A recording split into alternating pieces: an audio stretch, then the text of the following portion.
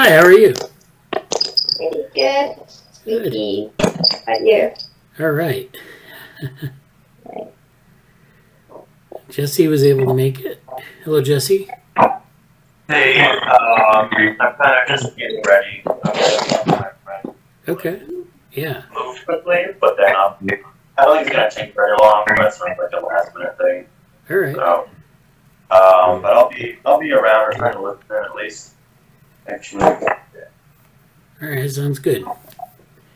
Okay. Well, welcome to the meeting, and uh, hope everyone's doing well. And uh, even if you're watching on YouTube, thank you for watching. And uh, if you have any questions, you know we can always talk about it in the Slack. It's probably a better place to kind of bring things up uh, discussion-wise. Uh, if you want to get the full lab, lab's attention. Um, but nevertheless, so Jesse and I met yesterday. Um, he we talked about some research directions, so we'll be talking a little bit about like maybe what we'll be doing in the next, you know, over the fall. We'll kind of preview some of that. Uh, we'll also talk about some papers and and uh, a couple of submission items that are coming up in the next month or so. So, um, are there any questions before we start, or?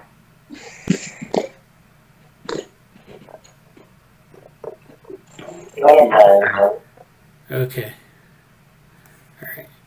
So I'll share my screen to start with. And, uh, okay. So can you see my screen? Okay, so if, uh, all right, so you should be able to see my screen. And, uh, uh, I I can't. Oh, there it is. All right. Okay. All right. Thanks.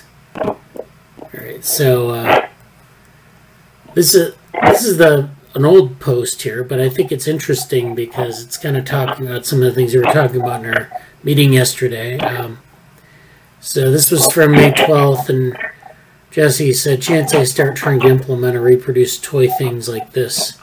So this is papers with code. This is the animal AI training environment. So.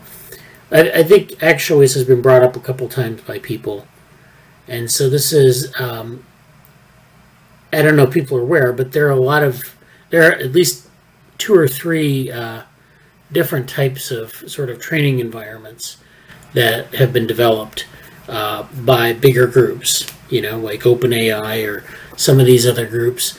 And the idea is, you know, they have these uh, sort of test beds where you can take things and um, try them out. So if you're interested in implementing a, an algorithm, say like a reinforcement learning algorithm, that's great, and you can try it out on your in your notebook, and it'll you know you can get some summary statistics and whatever.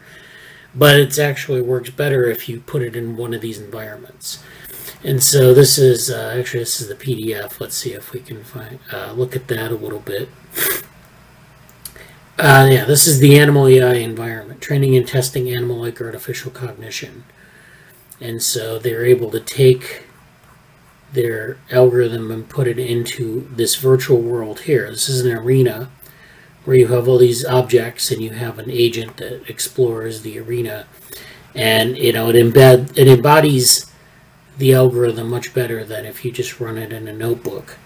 And this is, of course, for reinforcement learning, so you're able to configure your task and do other things that you know you would do if you were running, say, a behavioral experiment. Um, now, for reinforcement learning, that's particularly important. Um, but there are other, you know, algorithms you can run in some of these environments as well. And uh, I, am sure people are familiar with the video game benchmarks. So there, you know, there's been uh, uh, a great interest in recent years in recreating some of the old Atari video games and using them as test beds for reinforcement learning algorithms. So those are things that are, I, I guess, openly available. I don't think we have the links directly in our materials, but maybe that's something we should, uh, like I was showing you this uh, this uh, web page I think last week or the week before, where we talked about different resources for learning about uh, data science and, and AI. So maybe we should put a link to that in, in those materials. Or maybe in one of the GitHub repositories. I'll just make a note here. So there's that, um, and I think that would be uh, a nice way for people to sort of participate, you know, to implement things that we talk about in the meetings, and maybe try out different types of uh, approaches. So here's DeepMind Lab. This is one example of this where they have uh, Quake, which is a, a video a classic video game, uh, Quake 3 Arena. So you have this arena it the work has already been done in terms of creating the environment. You just need to plug in your agent. So um, that's that's nice. I think we should revisit that. Um, let me see. I'm just making another note here.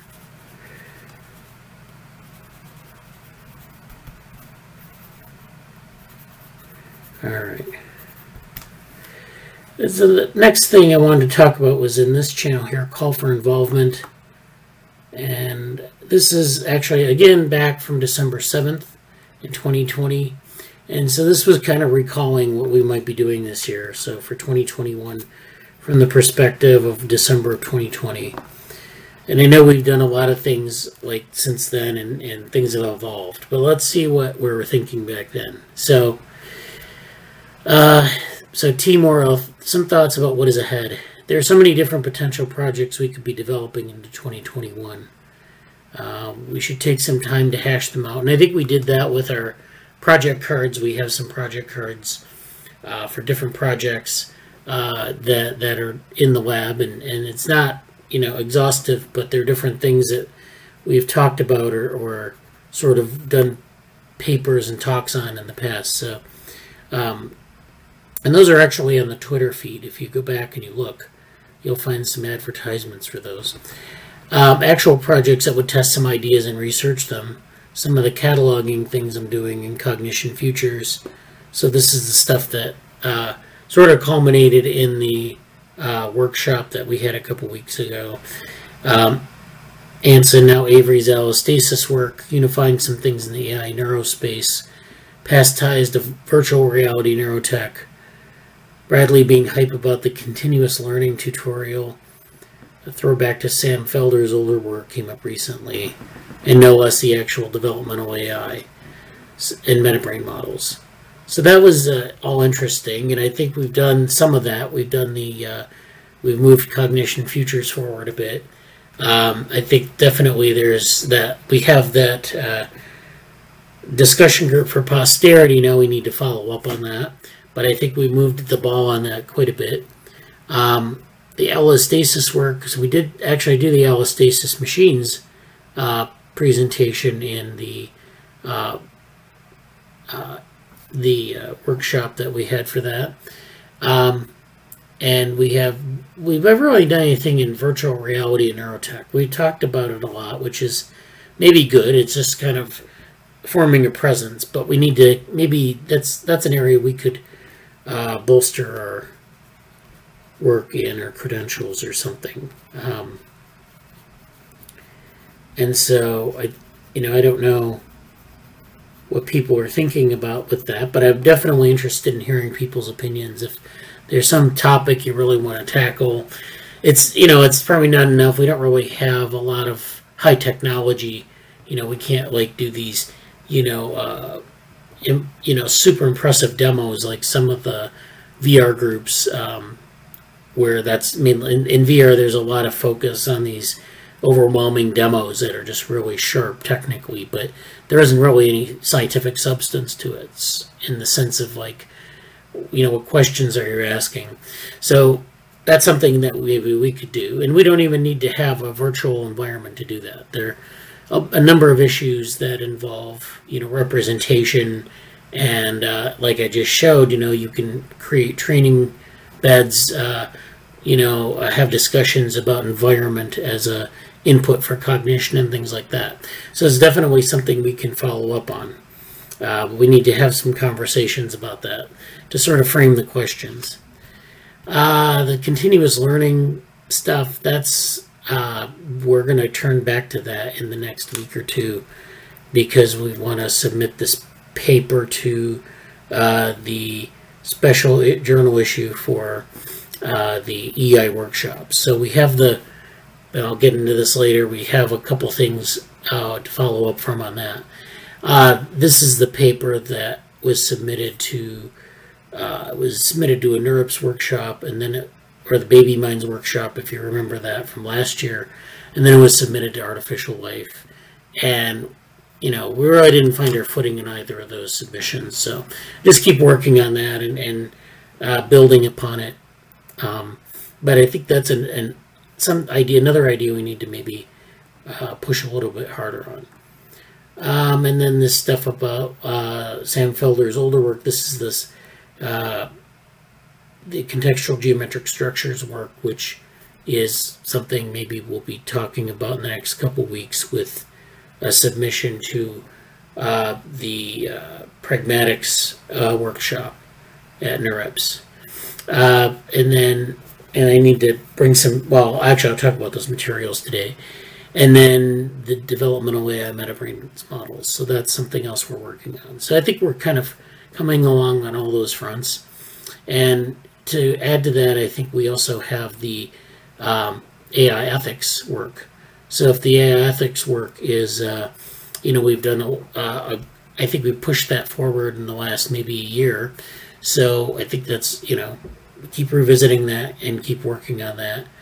Uh, keep thinking about things you might want to push forward on that. Um, if you go back to, the best way to do that is go back to a talk look at what was covered and then try to find maybe two or three slides where you can, you know, follow up on it. So this wasn't very clear.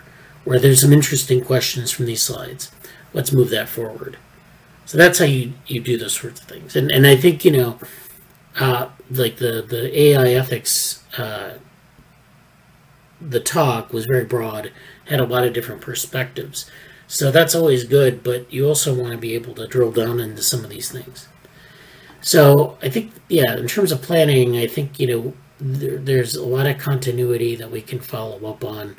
Um, but I also wanted to point out that, you know, we, maybe we have specific uh, positions that we want to fill in the lab. And, and by positions, I don't necessarily mean paid positions.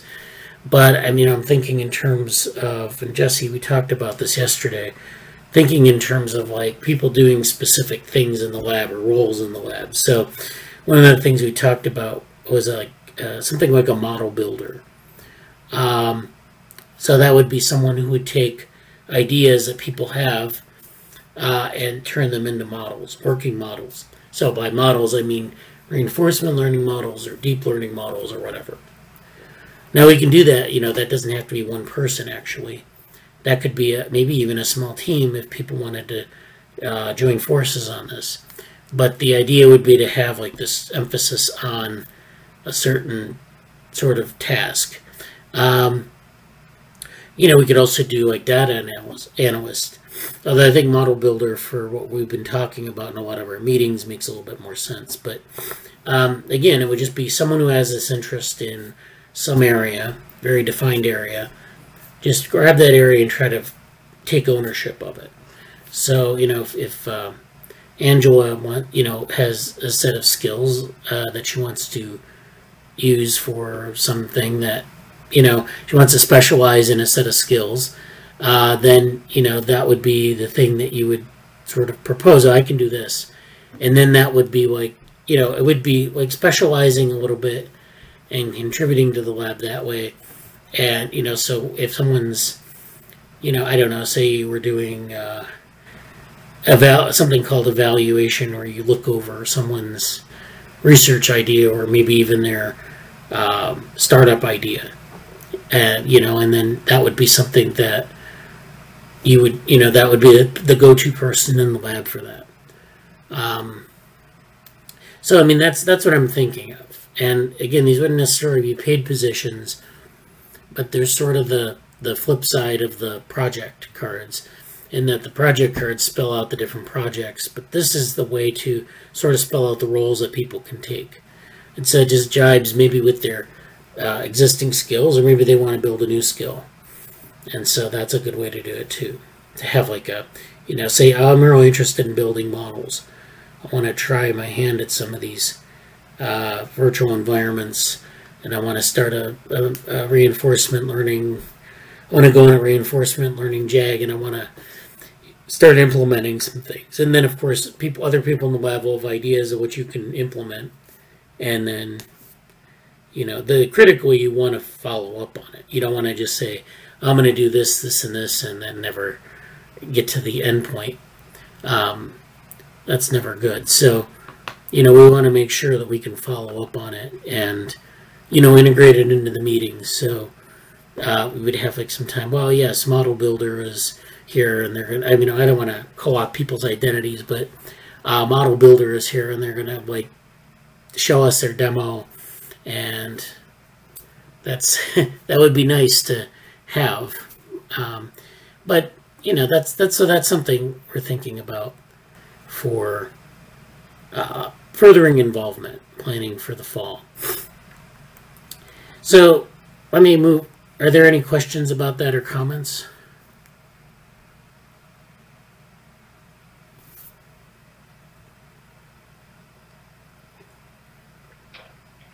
I think this is um, a, good step forward for things, and I, uh, over the next week or so, I, I want to flesh out some of the descriptions for, for, for the projects and also for some of the, the roles that we're talking about, because I think that's, I think, a little structure and a little sort of, you know, um, giving space and structure and uh, a little focus on um, on these things will go a long way.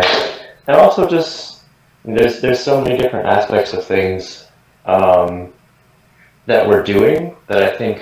And one of the things I did mention yesterday is like I think I'm going to create maybe with the help of Notion a little bit more of like a, a site map because things we do overlap and the projects and project descriptions are you know one thing, but kind of seeing you know that you could you could have a specific role for an extended time, it's model builder, or I'm kind of looking for an assistant lab manager, um, or someone who's interested in like administrative stuff. Um, we, we need we need someone doing specific work on um, like like uh, there's a lot of data analysis things that can be done in terms of uh, the ethics team. Um, there's like uh, you know, uh, we've had we've had some specific topics in cognition futures come up that it'd be great to have someone just become an expert in that and do weekly, weekly reports and in, in, in, that. And um, like Anusha is kind of fitting that role in one of those things. But just kind of creating like it, it's really it's going to be really important uh, for the next you know by by September I think it's going to be really important to advertise and say hey we have an opening for this role or this um, set of projects. You know, commit commit a semester to this, and you can get some experience here. And I think I think that would be, you know, I think all this is good preparation for for doing that and sort of putting our, you know, getting ourselves ready for that. Yeah, I think that would be great. Um, definitely. Um, and then, yeah, we'll have to advertise them, of course. but even within the lab, I think people are maybe unsure how they can contribute. So that's, it's always good to have, like, think internally as well. Um, I mean, by internally, I mean the Slack and soliciting people already kind of here. Um, but yeah, I think it's, that's definitely, we, you know, we should move forward on that. Okay, so thank you for that. Um, let me share my screen again. Yeah, it might also good to think about like just very popular skill sets. Like I was talking, like Shruti actually just got back to me this morning and said she's interested in working on like image segmentation for like certain like like cancer or other things. I don't know if we're going to be doing a lot of image segmentation for ourselves based on what we have, but like um, you know, uh, like thinking about in the in these role descriptions, thinking about particular um, skills that, that they could they could be developing and things like that, and, and just like highlighting, hey, here's the project, here's the arena, here's the context. But a lot of people just want to, you know, some people may go say, oh, I just want to develop a skill rather than a topical area. So having ways to kind of communicate both of those things is good. Okay. I may be unable to talk for the next little bit, so if I don't respond, that's why. Okay, thanks. Yeah, so that's good. Thank you for that. Um, let me reshare my screen. Um, now let's go back to cognition futures here. So this is, uh, okay, so actually I, I uh, this one here, this was yesterday from 9th. Okay, so this was, I'm trying to find the beginning of last week. So this is all this week. Okay, so this is the Atlas of Forecasts. This is something I put in the channel. This is something by Katy Börner, who does a lot of visualization um, in informatics. And so this is a modeling and mapping of desirable futures. So this is using advanced data models and visualizations to forecast the future. So uh, to envision and create the futures we want, society needs an appropriate understanding of the likely impact of alternative actions. So this is something we talk about in cognition futures in, in an academic sense, like to understand an academic field, but you know we can do this for the real world as well, like for different societies in the world in general. So uh, data models and visualizations offer a way to understand and intelligently manage complex interlinked systems in science and technology, education, and policymaking. So this just shows us, this book shows us how we can use data to predict, communicate, and attain desirable futures. And so this is the idea here behind this atlas. Um, I don't know, it's probably, yeah, this is a book by MIT Press, so it's not probably available online, but um, it's just, you know, just to see what other people are doing here um, in the area of uh, forecasting and future prediction and things like that. Um, yeah, so this is just kind of going through a lot of things that, you know, make up a future prediction. So you take all of the sort of trends, you take a lot of the, um, you know, predictions about you know, what kinds of advances are made in science and technology. You take a lot of things about, we know about like how people behave, a lot about the historical trends, which we can then extrapolate out to the future. So that's, you know, and then this is a notoriously hard area because sometimes you get, um, you know, very good predictions and sometimes they're way off. So, as you may well know, uh, you know, forecasting the future is you know, sometimes people are pretty far off. Sometimes they're not that far off at all. If you go back to Jules Verne, for example, you know, a lot of things that Jules Verne talked about, you know, came true to some extent, you know, and that was just because he observed the trends that were going on. He thought about things that were likely to happen, maybe things that, you know, um, uh, things that were plausible, maybe, but maybe not so plausible and just you know and of course there's this feedback between people reading his work and then being inspired by it to create the things that he talked about. So you know there's that aspect of it too that the predictions we make if people are viewing it you know 50 years from now uh, they may want to actually emulate some of the better predictions some of the more optimistic predictions. And so you have that effect as well. So interesting stuff. Uh, this is the Yohan John uh, tweet about in defense of placeholders. And I, I bring this up, this is something Jesse brought up yesterday. I bring this up with uh, thinking about what happened with the tweet, which was that people started responding to it, and there's some pretty robust responses to it. This morning, I actually saw some robust responses to this. So this is uh, something that Yohan John uh, put out in defense of placeholders. I don't know if this is his paper or not. I don't think it is, but let me take a look at this. Oh, this is yeah, this is his blog post. So this is uh, Yohan John. We've talked about him before. Uh, in defense of placeholders, a case of representation. So we talk about representation in the group, but you know, what does that mean? And you know, is it something that we actually need? And so in cognitive science, there's this idea of anti-representationism, and we talk about things like connectionism as being a low representation framework. But there's actually an active case to be made with uh, connectionism for anti-representation. That is, you don't really need representation to emulate cognition. You just need this connectivity. And so that's, and a lot of cognitive scientists, I think, believe that um, to some extent. I don't think there are any radicals who don't think of any role for representation. But uh, some of the tweet responses that were on Twitter this morning, people said, well, you know, it's very hard to define a representation and things like that. So there, there are sort of both sides of the story. But I think Yohan goes through and, and kind of defends representationism a little bit. Um, the idea that the brain represents objects, processes, and events in the body, and the outside world is ubiquitous.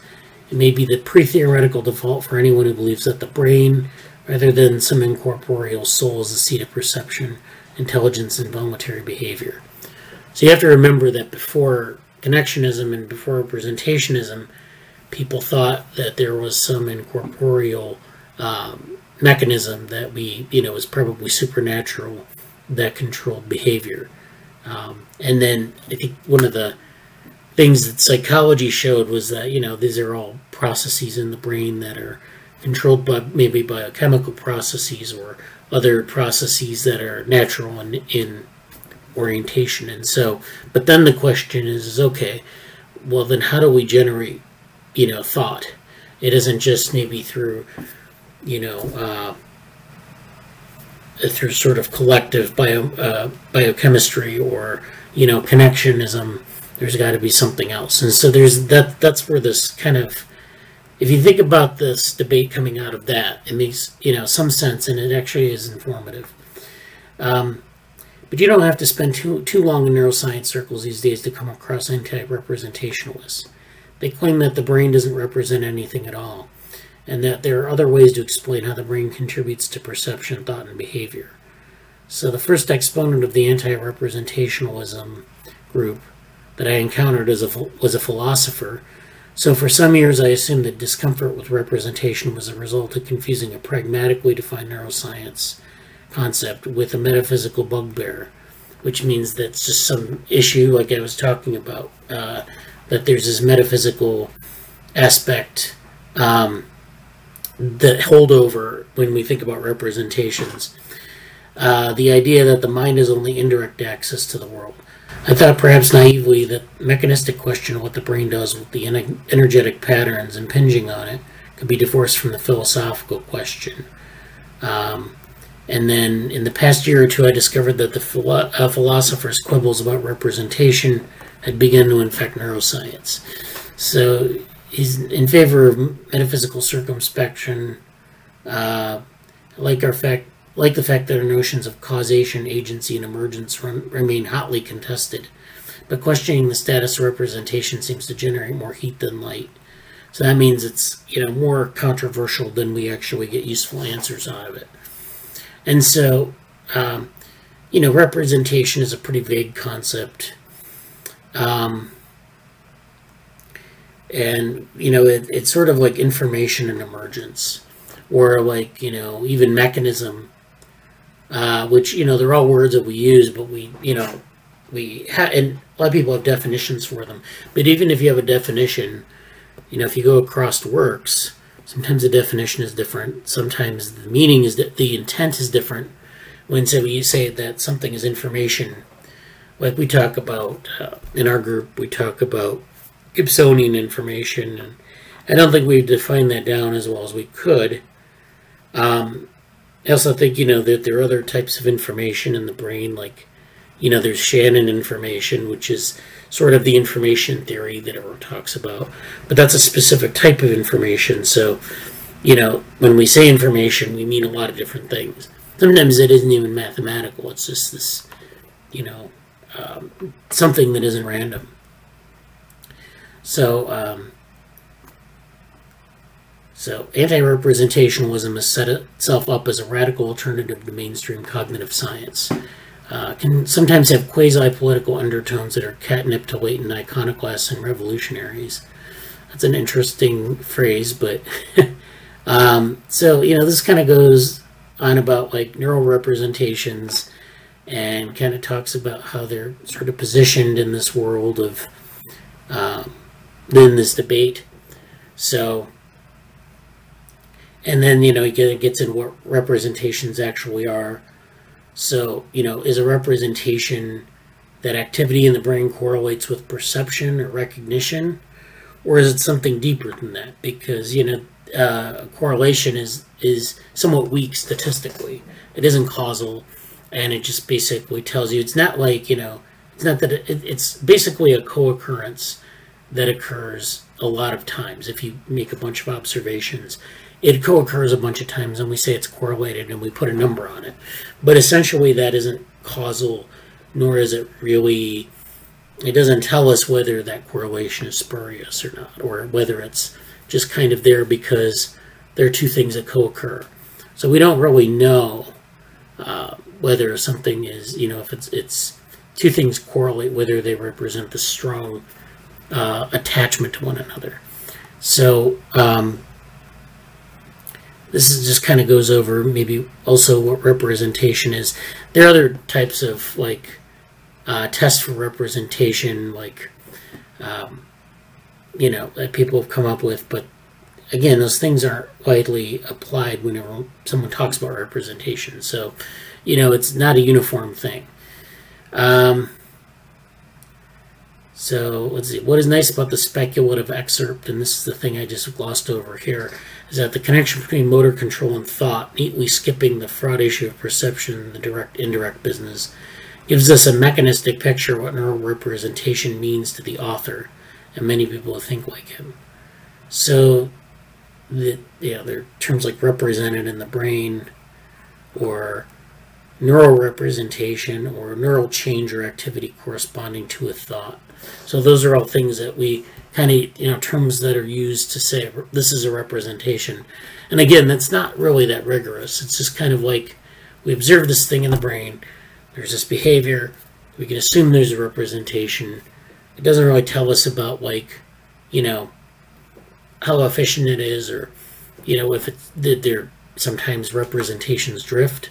Uh, does that happen over time? You know, all the, there are all these issues that we have to deal with. So um, I don't really have a horse in this race, so I don't know what to say about it. But um, the point is that the anti-rep crowd is very likely to be misfiring if they assume that a neuroscientist's use of the concept of representation derives from the something from something in the work of Herbert Simon and Alan Newell, Noam Chomsky, George Miller, Jerry Fodor. And those are all people like Herman's, Herbert Simon and Alan Newell were you know, AI people, uh, George Miller and Jerry Fodor are psychologists or neuroscientists. So, uh, you know, these are kind of people who, uh, you know, they, well, they're all kind of like interested in the, the mind, or, you know, they might be interested in a computational model or an AI model. So, you know, they're not necessarily just observing the brain, they're observing like these models as well as the brain, and so um, they have a little bit different take on it. Um, the lineage of representation in neuroscience is far older than the apparent revolution of the 1950s, which was the changeover from behaviorism to cognitivism, uh, where people started thinking about like the issues of cognitivism as a, as a viable path forward. Um, which is really just restored to psychology as a notion that people tended to arrive at as soon as they became acquainted with the idea of the brain as a basis for experience. So representation is sort of uh, aligned with the shift towards cognitivism. Um, and so that's an interesting point. Um, I have not met, yet made clear a clear case for the meaningfulness of representation in quotes beyond the general point about the acceptability of placeholders in science. So, you know, a placeholder is a term that we use when we don't necessarily know what to say about something and we say this is a representation. So is this like something that we just use as a placeholder for something we don't understand? Or are we really sincere about saying representation? So this, of course, ignited a, a large amount of controversy, and uh, I think that's a great, a great find, Jesse, um, and I think it's something we should revisit, and especially with this MetaBrains models paper, which is you know where we're stacking different levels of representation on top of one another. But at least there, I think. Well, I think in that case, given this uh, debate, we do need to really refine what we mean by representation. And uh, I think it's you know it's always worth defining things pretty tightly. Um, you can never go wrong with that. I, although you can actually go wrong with it if your whole argument rests on sort of some inconsistency in your tight definition. But anyways, uh, that's that's something that's another discussion. So, um, but but we'll try to make that like you know make it non-inconsistent. So, um, but I no, I definitely think that something like representation, it you know deserves its a very tight definition around it. Uh, Jesse also found this cognition and context lab. This is a group based out of UC Davis, so you can look at that if you're interested in looking at what other labs are doing, and you know they have some interesting stuff going on there. Um, not sure there's anything new in these uh, channels here. If we have anything in cybernetics, nope. Um, developmental AI. Nothing new there, I don't think. Um, anything in ethics, tech, and society. This is something that's posted Thursday. Uh, something I posted. Yeah, this is uh, something I think Jesse posted to Twitter. This is the moral consideration of artificial entities, a literature review. So this is something for uh, the ethics in, people interested in the ethics project. Project. Um, this is moral consideration of artificial entities. This is a nice literature review on artificial entities such as robots uh, that warrant rights or other forms of moral consideration. So this is a synthesis of research on the topic so far. This was published in Science and Engineering Ethics this year. So they kind of talk about like some of the issues that are involved in this, these these uh, moral conundrums um, beyond the conventional consequentialist uh, frameworks some scholars encourage information ethics and social relational approaches that are opportunities for more in-depth ethical research on the nuances and moral consideration of artificial entities. So there isn't a lot of data on this, but they're doing a lot of development of, of concepts. Um, so that's I think that's a good read if you're interested in that area. Um, I don't think we have much more here.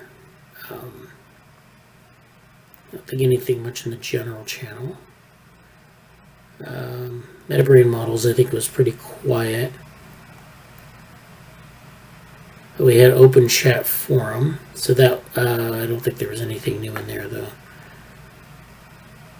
Um, and I think that virtual reality and neurotech has been quiet as well. So, okay, Angela left. Um, thank you for attending, Angela.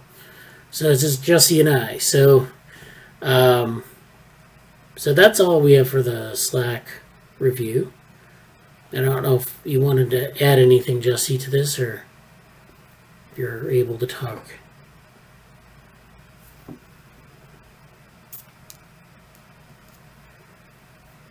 Well, in any case, I know you're busy with the uh, moving and that, but uh, we can talk about it a little bit later if we have time. Um, let's see. Uh, why don't I move on to? So yeah, I wanted to show that what we have. I wanted to go back and revisit our uh, GitHub repo a little bit. So we have this. Oh, you're back. You're back. Uh, it's me. oh, hi, hi, Avery. Hi. How are you? How was your week? Pretty good. Kind of hectic. I'm exhausted, but it's been good. Good. How's your how how's everything going in England? You're at the uh, the what is the the uh, hostel mm-hmm. science hostel or something? It's like an EA hotel slash center for enabling EA research. Okay. Yep, it's it's still good. We are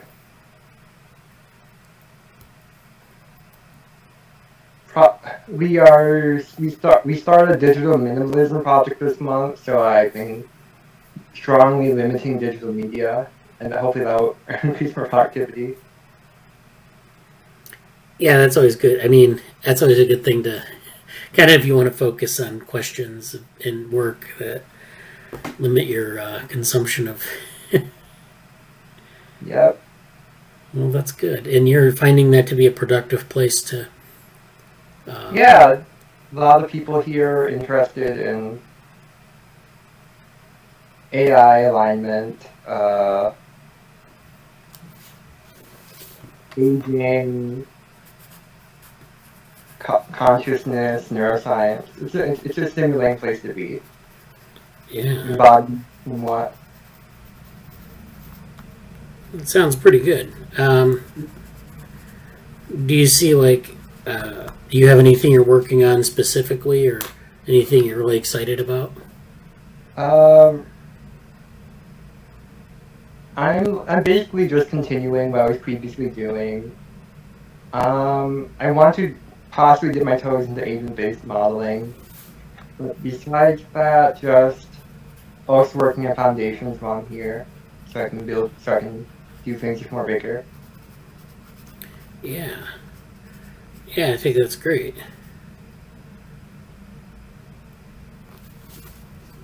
Yeah. Well, thanks for that. Oh, was that? It's also a nice this environment in general.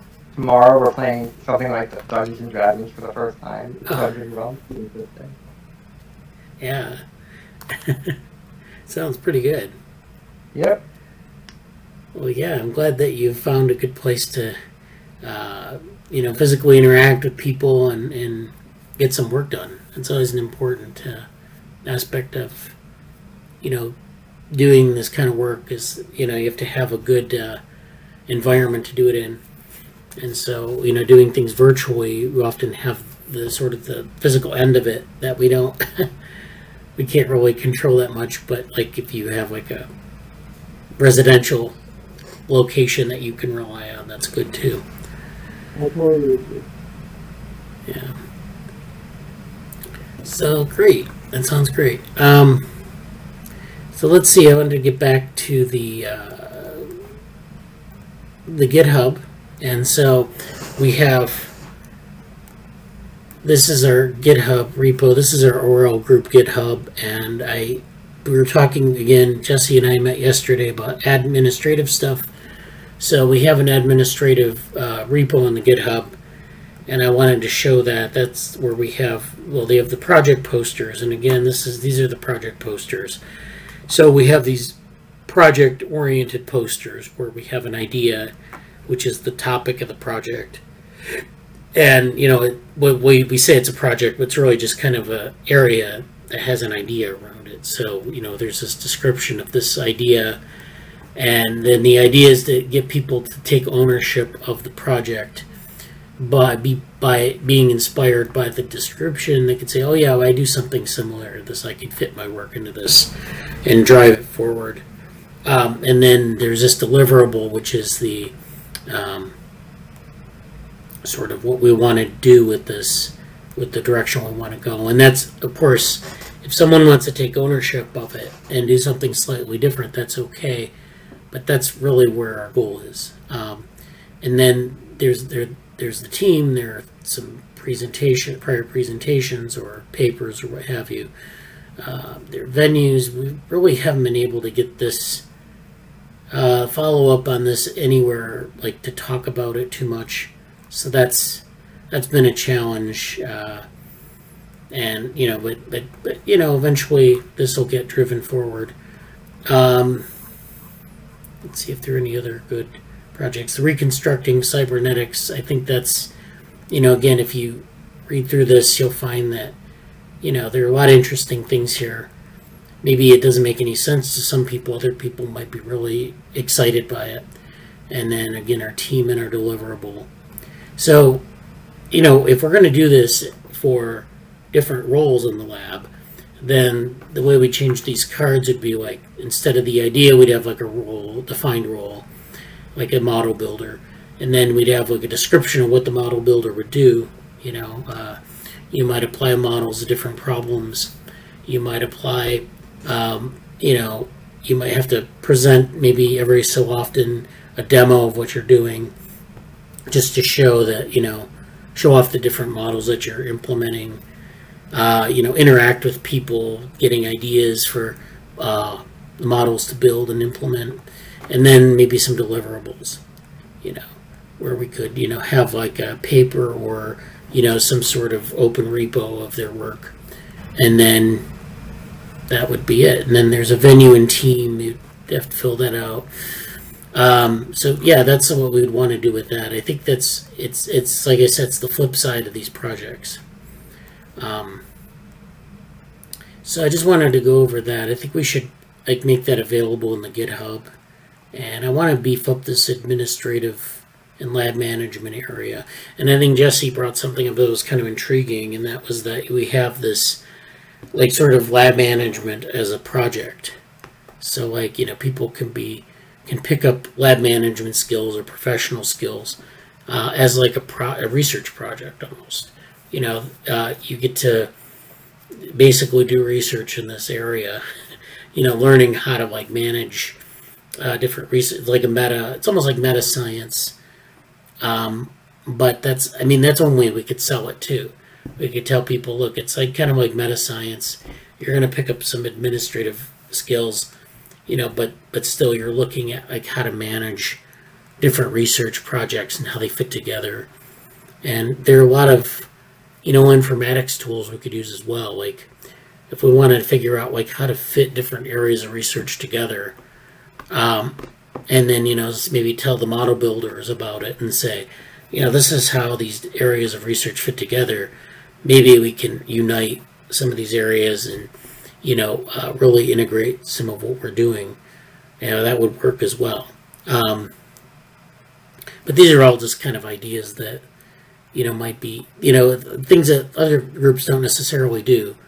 But like I said to Jesse yesterday, you know, we're going to have to find a niche where we can kind of contribute to um, that other groups don't really do. So that's something that uh, just to think about again. Um, and so I want to, oh, actually, I want to go to submissions now. So I want to go back to our submissions document, and this is something maybe that we're creating in, um, uh, we're, we're recreate, maybe recreating this at some point in Notion. And so we talked about Notion as a database for uh, managing a lot of this stuff. This is, of course, our publications document. We go through it every week. Um, and we have some most of the stuff has been addressed, I think, to some extent. Uh, some of it is not. Like, we have loose ends in here, definitely. Um, we have this, let's see, we have uh, these NeurIPS workshops, which I encourage people to continue to check on to see if there's something that you want to do. Uh, we have the one that we want to work on, the pragmatics uh, workshop or the MIC workshop. And this again is, and, and I'm going to have to put this together a little bit more. I'm going to actually talk about it in a little bit, what that paper might look like. But I need to write it up a little bit more before I share it with people. But this is the workshop. This is meaning in context, pragmatic communication in humans and machines. And the problem here is that this area is, um, it's focused mostly on language, but it doesn't have to this has been a wastebasket of language research. So this is something that, you know, people, they're interested in maybe new approaches, maybe different approaches. And so this is, I think, pra pragmatic reasoning, but also a linguistics component. We don't necessarily have the linguistics component, but we have the pragmatic reasoning component in some of the work we're doing. So um, I'll get to what that might look like in a little bit here. Um, and so there are a bunch of questions that we might align the paper with. Um, and, you know, I don't know, maybe we, I, maybe we align, I think it's good to align at least with one of these questions. So, uh, actually, they're talking about things like neurotypical individuals and communicating agents and uh, how does pragmatics connect to other linguistic, non-linguistic aspects of intelligence that might actually be one we can really attack. Uh, how might model successes and failures inform theories of human pragmatic reasoning? It's probably not something we can really do, but uh, I mean, you know, so there are a number of different um, topics we or questions we can sort of address when we write it up. So that's um, that's what they're looking for. Uh, now, like I said, I'll get to that in a minute. We're going to go with that. Uh, Neuromatch Academy is still continuing. It's almost over for this year. Um, I think they have one more week of this. So this was the DL, the deep learning version. Uh, the neuro version, of course, is over. And I think that you know we didn't participate in NMA as well as we did last year. We didn't we have as deep of involvement in it, but I think it's something that we can still follow up on. Uh, I had some interest in the other group I work with on doing a slow pod, where you have this, uh, you know, you take the materials that are presented in the three week brain dump and you unpack them into like three or four months of going over the topics or just going over certain topics that really interest your research group. So there might be an opportunity there to do some slow pod activities. Um, and yesterday at our uh, research meeting, we also talked about the idea of people doing uh, their own tutorials or their own streams. So, like, you know, presenting on something or, you know, doing like a, a session on some topic, some methods topic, you know, could be like something, uh, you know, from Neuromatch. It could be something really obscure that you'll never be able to really get any expertise in any other way. Um, like I told Jesse, I find that like a lot of the educational opportunities, it's either they kind of go through methods in sort of a, uh, you know, a review fashion where they just give you a little bite of each in a course, or you have to do a very deep dive into it. And that's not, neither of those are really good if you just want a good understanding, a solid understanding of a method. So, like for agent based modeling, you know, what's the proper level of understanding you need to sort of just start building models. Um, you know, that's that's something that you know isn't very obvious, but I think it's something we can address. Um, so, you know, there are a lot of opportunities there. Um, let's see. There's the uh, we have this artificial life special issue. This is the thing. This is where the continual embodied learning paper is going to go. This is due September 18, so that's coming up in the near future. Uh, I have to turn my attention to that to sort of get it back out into the group.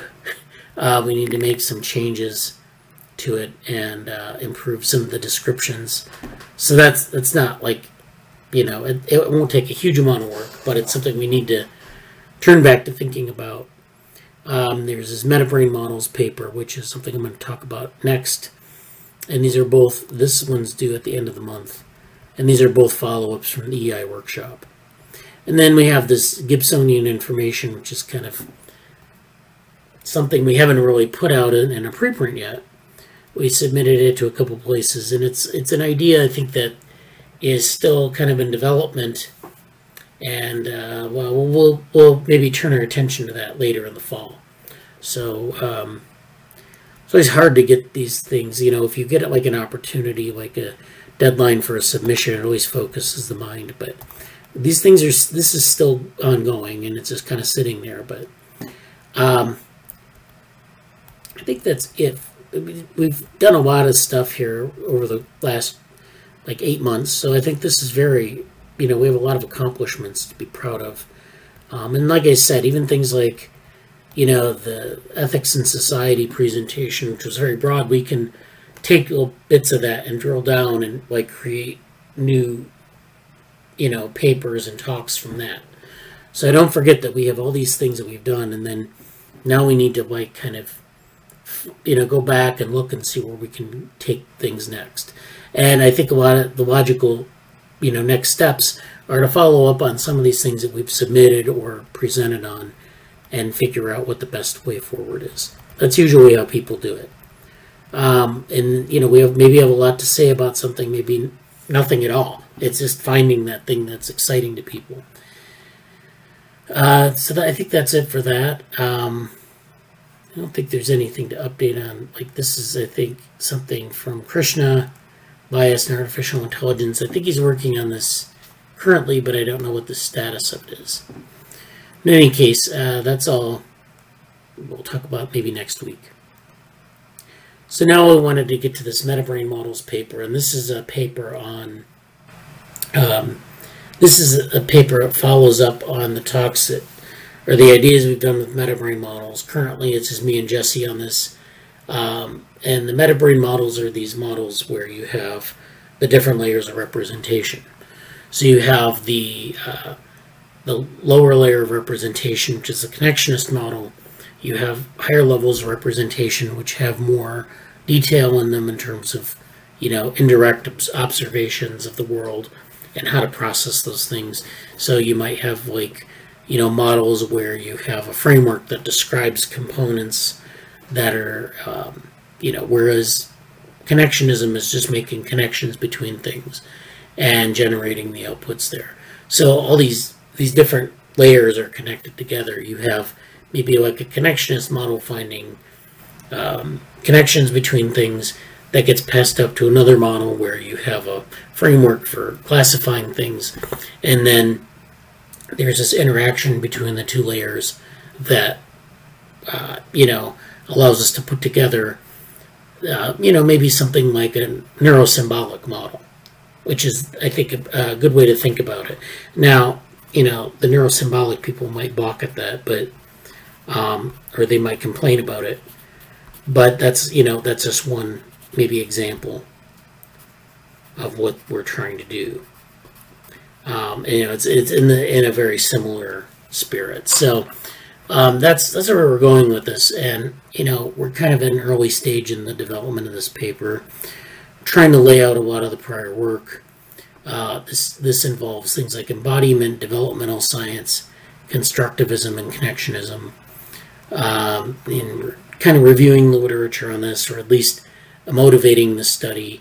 I don't. We don't really have a. I mean, we have some references, but we need to flesh us out with references, uh, and that's one of the things actually that, um, if you want to contribute to this paper, you might be able to do is go find some references for some of these things, and you know, uh, make it so that we can really get it to a point where it's really impressive. Um, and then there's a basic architecture. There's a level of representation. So this just kind of talks about different le levels, what it means to be a level, anatomic fidelity. So this is really based on what's going on in the brain and how the brain works.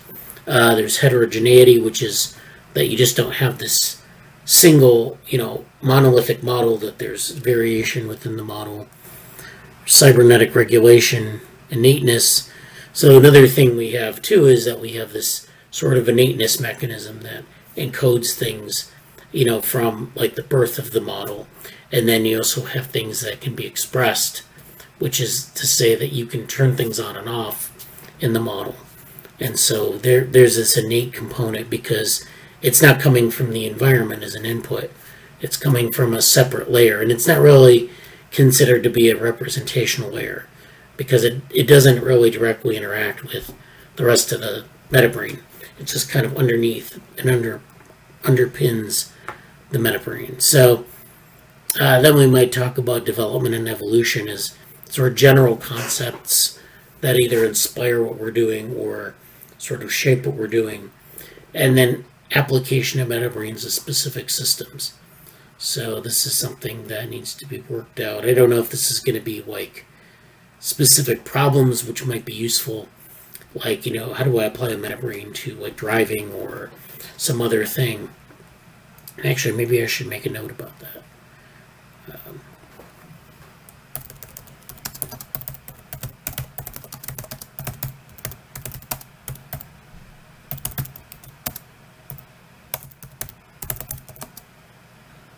driving um, data now image analysis maybe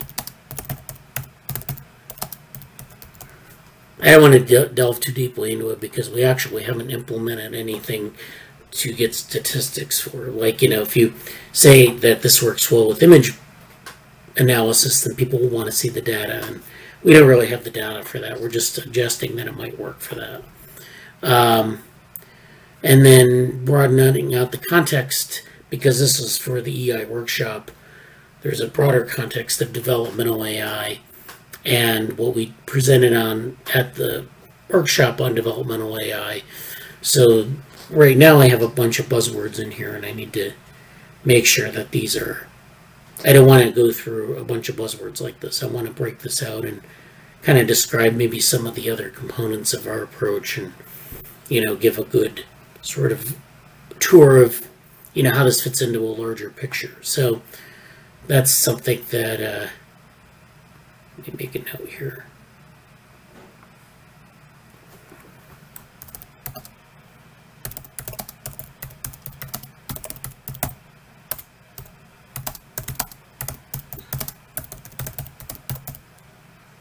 Yeah. And then I've been busy getting references for different things, for different topics. So there's a nice little bibliography. And again, we need a larger bibliography for this. Um, so, you know, just so that when we say something, we don't just have it sitting in isolation. We need to cite it. Um, so I think it's coming along. And the, the submission for this is, uh, it's due at the end of the month. And they're pretty flexible in terms of how we can submit it, like you know the form we can submit it in. They said we could have a large, uh, a long paper or a short paper. So basically, the page limits are like from three pages to like fifty. you know, I mean, it, it, it's an ebook, so they're publishing it sort of as this chapter in an ebook. It's it's supposed to be more exploratory, and that's why it's in the state it is, uh, because you know we want to cover a number of topics and we have the freedom to do that. We just need to make it coherent. So, so that's the MetaBrain models, and I'll put this in the Slack. I know I said I would do it last week, but I didn't want to put it in just in a very uh, proto developmental state. I think it. Yeah, I think at this point though, I think I will put it in the Slack channel and ask people if they want to contribute. So I think we're at that point now. So just to give you an update on how that's going. So it looks like Jesse's back. So um, let's see, we have some things in the chat here. Yeah, yeah, Jesse. Glad to see Avery here. Yes, Avery's here. Um, yeah, so that's the MetaBrain Models paper. And um, I don't know if anyone had anything to say before we move on.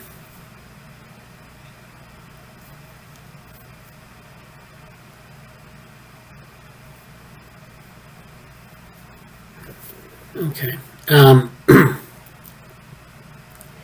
now we'll move on, and we're not quite to papers, but I did want to talk about. Uh, I don't know if I have it in here. Um, I had this. I think I had a. Oh, here it is. The paper for Pragmatics Conference.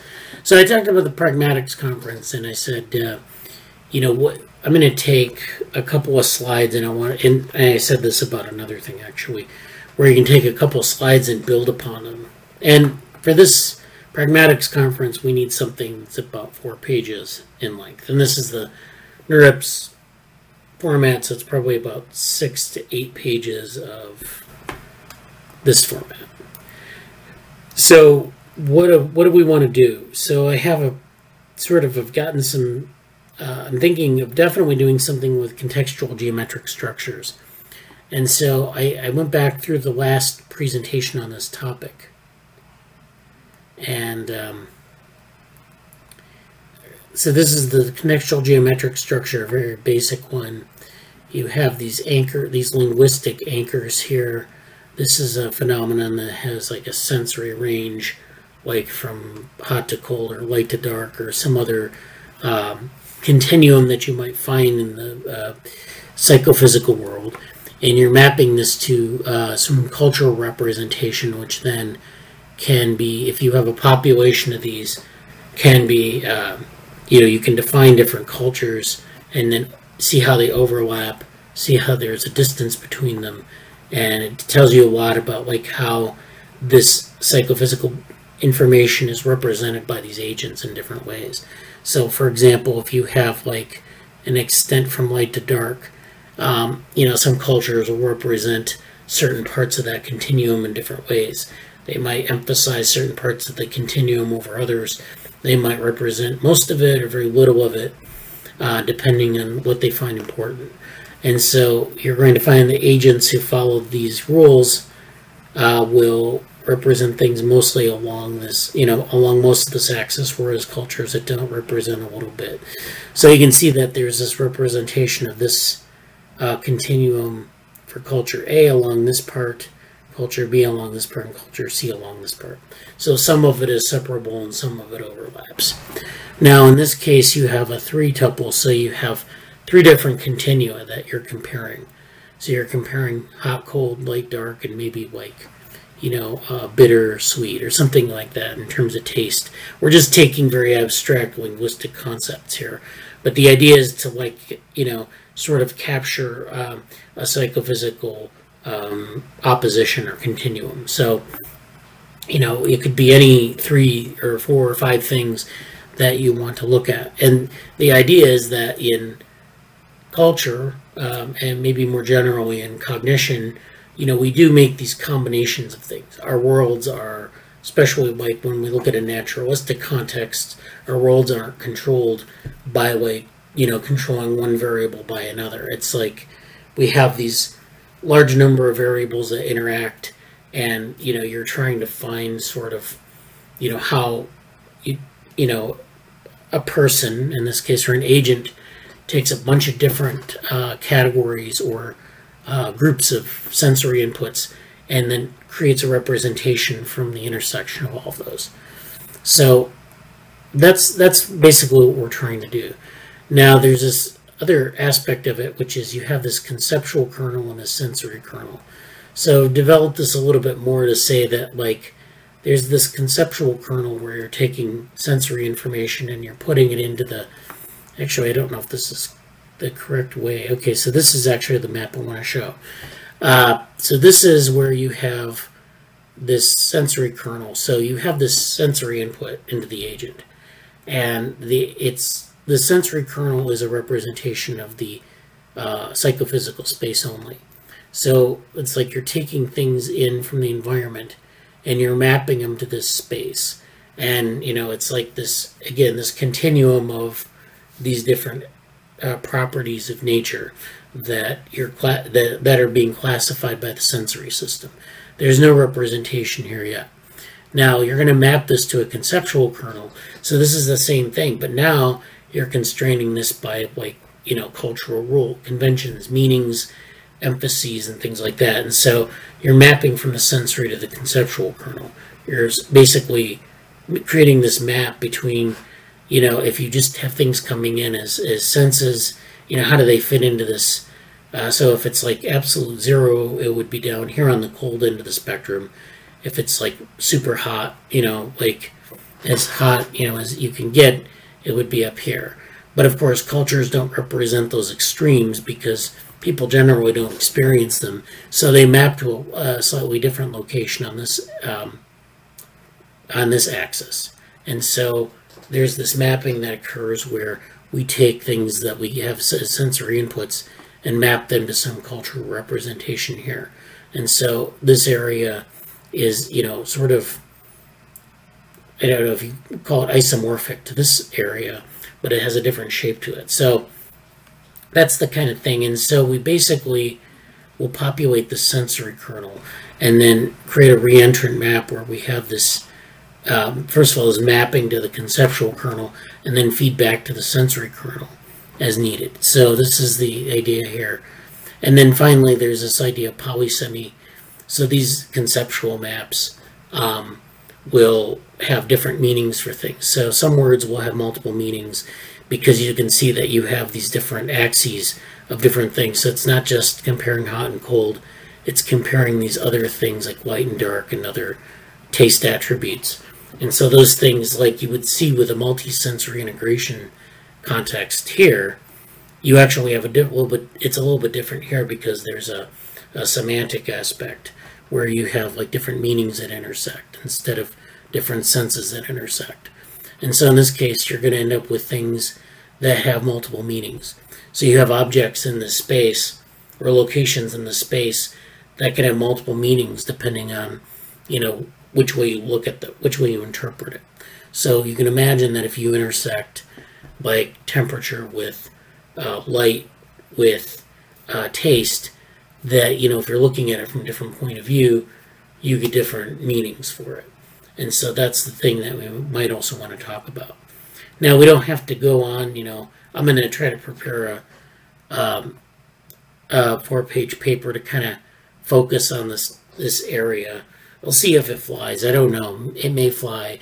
And like I said before, we have questions that we can frame these lists around so they're different questions that they're interested at this workshop. So we frame it around those questions and we kind of, I'll, I'll work on the actual text of the paper and then maybe we can move from there. And uh, I know that a couple of people were interested in that. I think Avery and uh, Jesse and Charlotte were interested in this as well. So uh, I'm to, just to give you a heads up on what I'm thinking for this, and I'll prepare a paper and we'll see how far we can get. And this this paper is due on the 11th of September, so or the 10th of September. So you know we have a little bit of time for it. Um, it's just a matter of getting it out there and then working on it. Um, but that I mean that should be you know something. Again, this is how you drive forward some of these ideas. You have to kind of think about them, uh, take what you have, and then try to frame it into a question, a series of questions, and that's how you develop your work. You know, you kind of start working on it, and you maybe grab a little piece of it, and you try to adopt it, uh, adapt it to some set of questions, and I think that's a that's uh, we'll see how that goes. I don't want to say it's going to be like it's going to be wonderful, but um, anyways, um, so that's that's the plan for that paper. Uh, now I wanted to get in some topics that I've kind of collected here. So there's this uh, kind of topic I ran across this week. And this is, uh, I don't know what's in this one. Oh, okay, this is different. Okay. So this is something called uh, contingency, or Markovian versus contingency. So what does that mean? Um, I think it starts with this tweet. I guess this is a good way to frame it. Um, your system isn't Markovian. Knowing its history will provide insights into its current behavior. So if you're familiar with uh, like machine learning models and, and you know some agent-based models and some artificial life, you know that one common way to represent um, different states and the, the, transitions between states is to use something called a Markov model. And a Markov model is, is like a, a series of discrete states and you have these arcs between them, which are the transitions. And the idea of a Markov model was to assume that there's no sort of memory of the behavior. And you're just interested in how the system will transition from one state to another. So if you, uh, you know, use a Markovian model or use a Markov model, as it's called, you have these discrete states and you have the transitions between states, and you can observe a system over time as either transitioning from one state to another or transitioning to back to its current state and then you can measure the probabilities of that and you can get a sense of sort of what the system looks like. So this is sort of a mean approach a mean field approach which means you're looking at the mean behavior over time. It's useful for a lot of things uh, looking at different patterns in the data, you know, looking at how the sort of the dynamical system, it evolves as a dynamical system and things like that. So there are a lot of ways in which that can be exploited. However, this, this observation here is that your system isn't Markovian. Knowing its history will provide insights into its current behavior. So a Markov model is memoryless. It doesn't have a history.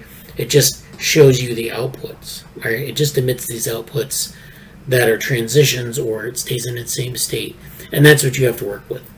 This the model doesn't remember anything and it can't integrate on the history. So that's it's both advantageous and a problem. But there've been like so people have kind of touched upon this issue over time. And so if you go back to 1993, there's a paper at uh, NeurIPS, and at the time it was called NIPS, and um, it is by Yoshua Bengio. This is before he got into deep learning, um, and it's called Credit Assignment Through Time: Alternatives to Backpropagation. And so this is sort of a move away from this idea of a memoryless system.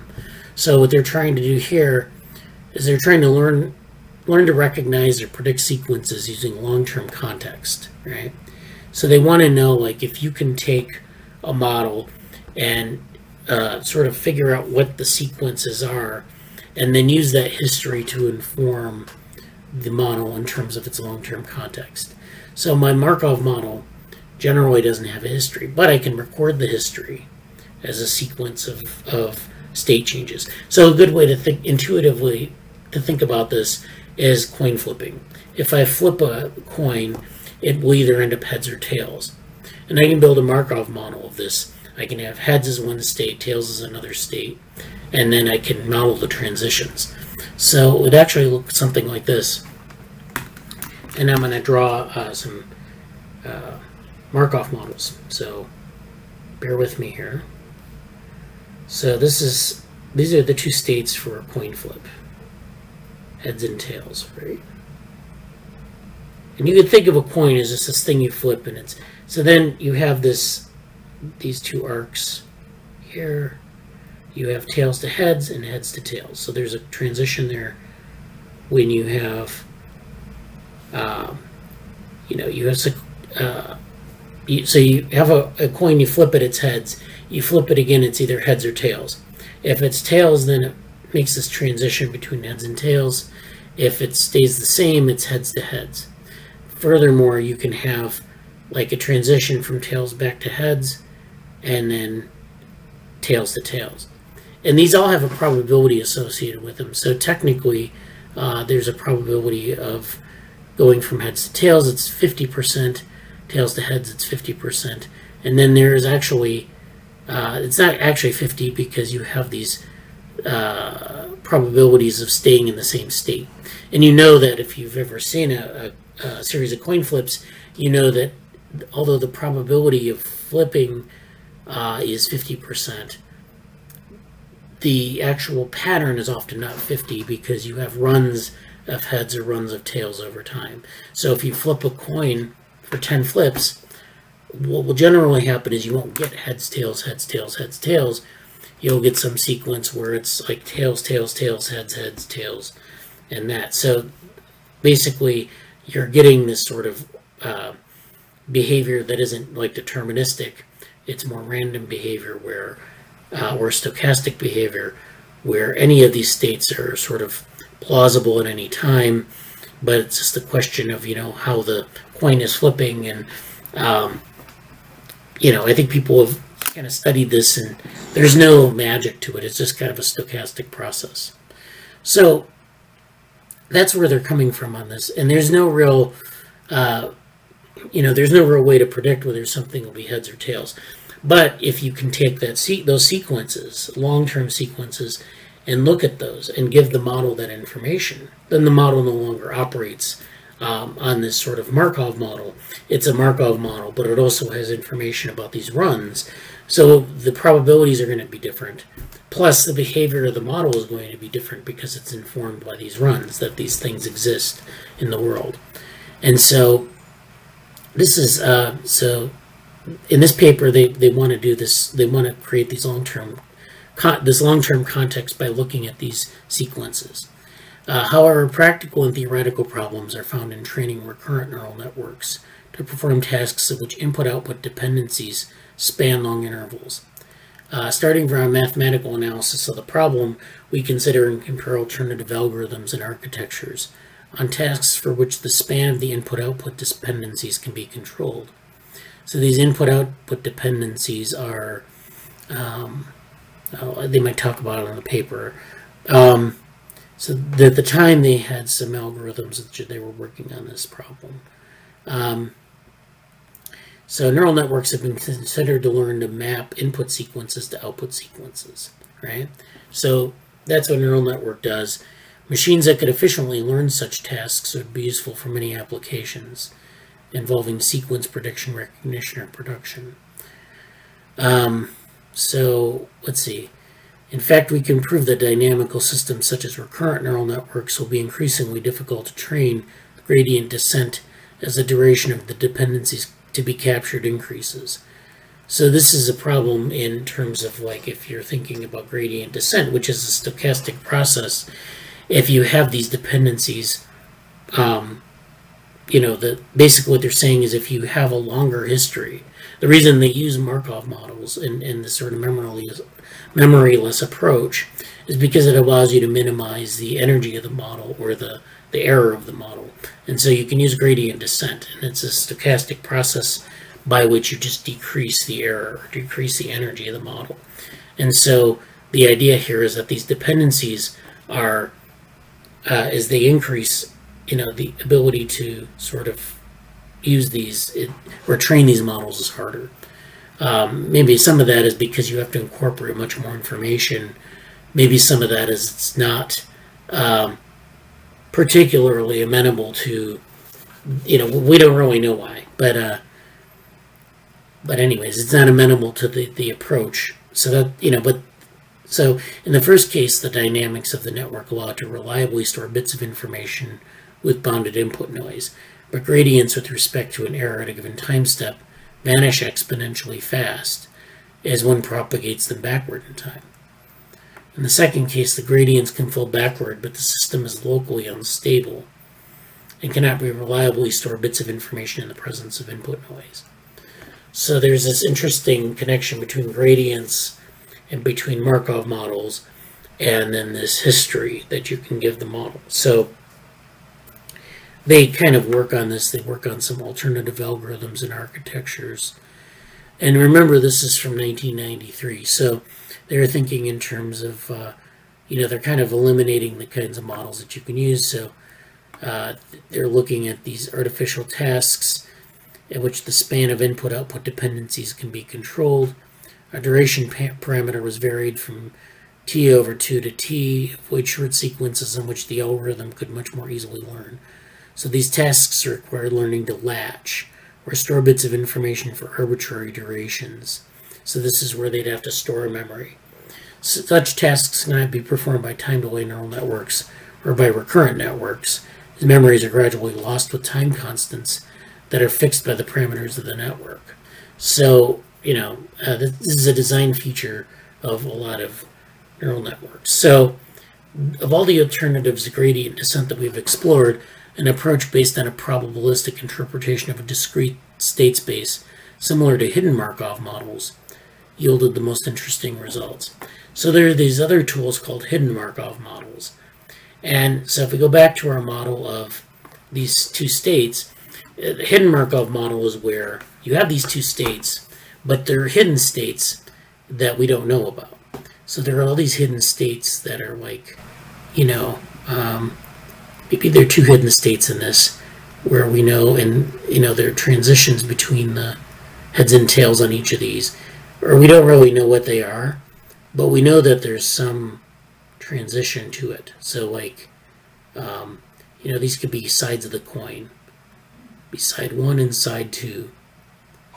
And so these sides of the coin are going to be like if you flip the coin and it ends up on its side, which is a little implausible, but let's say for the case of this for the sake of this example, that that's what happens. So we don't know these state these states exist uh, off the bat from what we observe because what we observe is like a limited sequence. But we do know that they exist. And if we have enough data, we can find them. But we can't really find them if we use a Markov model because it's only describing the heads and tails. So we need to expand our, our sort of description area or description space. And so that's where we end up with these hidden states. So to find these hidden states, we need to use a different type of model. And that's where the hidden Markov model comes into play. Hidden means that the states, there are states that are hidden uh, that describe more of the system. And this is, of course, what our history does. And so this is what they're, they're going with in this paper. And so they kind of go through the math of this. They talk about how they set it up, the architecture, and then the results and the conclusion. So the, the conclusion is, is that recurrent networks and other par uh, parametric dynamical systems are very powerful in their ability to represent and use context. Um, However, theoretical and experimental evidence shows the difficulty of assigning credit through many time steps, which is required in order to learn to use and represent context. So they can actually, um, I'm trying to figure out what this means. Uh, so the whole point here is this is one of the first papers. That I know if you uh, have attended Neuromatch, you've heard of this idea of credit assignment. And credit assignment is where you assign in a neural network, I guess you're assigning like a specific path or a specific neuron to some role. And so this is what they're kind of getting at with this. You're able to trace back the steps through the network and figure out what, you know, what's being represented by what. And so that's what they're kind of trying to link it to here. I think the basic message here, though, is that they're looking at gradient descent. They're saying, well, gradient descent doesn't allow you to look at the history of a system. Gradient descent is tied to this Markovian model of the world, in, in which case you have to say that the world just operates as a series of transitions between states. Uh, we can't really predict, you know, things from the history. We can't really, you know, there, there's a bit about future prediction in there that are all kind of like, you know, the assumption is, is that the world is sort of this stochastic event machine. And so that that's kind of the lesson from this. Um, and so that's that's an older paper. This paper here is uh, this is a little bit above I think all of our ability here, but I'm gonna kind of show it because I think it's kind of gets into some of these issues. So uh, in the abstract, I'll just kind of try to go through the abstract a little bit. Um, so this abstract has an important class of random walks. And so random walks are, if you have, if you go back to this model, a random walk would be a path through this model. So it would be like, if I go heads to heads to heads to tails to heads to tails to tails to heads, that's a path, all right? And again, this is a path that we can take and record as a historical event, all right? And um, so we can take these random walks through this network. We don't have to just take like a deterministic path. A random walk is like if I just decide to go, uh, my system decides it's either going to like go heads to heads or heads to tails, and it's kind of a random decision as to where to go next. And then you assemble the sequence based on this random walk. Just the, the algorithm just picks one state or another and then outputs a sequence.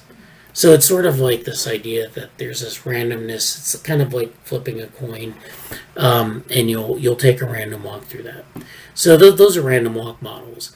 Um, and then, so an important class of these type of models includes those in which the random increment at time step t depends on the complete history of the process. So you have to know the his complete history of the process, which we often don't know but we have to know something about like how the system behaves. And in fact, in the case of a coin flip, we kind of know how the system behaves, but only very generally. We can assign probabilities to these transitions. But again, we can observe a lot of cases where those probability we deviate from those probabilities because they're they are summary statistics. They don't they're not deterministic, and so uh, we have to know the history. Uh, but but we you know it's going to depend on how we characterize it. We consider a recently proposed discrete time non-Markovian random walk process characterized by a memory parameter p. So now they're moving away from Markovian models and they're moving using a random walk process. They use a memory parameter which gives them this memory so that they can draw from it to make the next state and to make a prediction on the, the behavior of the system. We numerically calculate the first and second moments of the position distribution, which are basically like mean and standard deviation, uh, and relate our results to known analytic results for special cases. We obtain data collapse for the position distribution.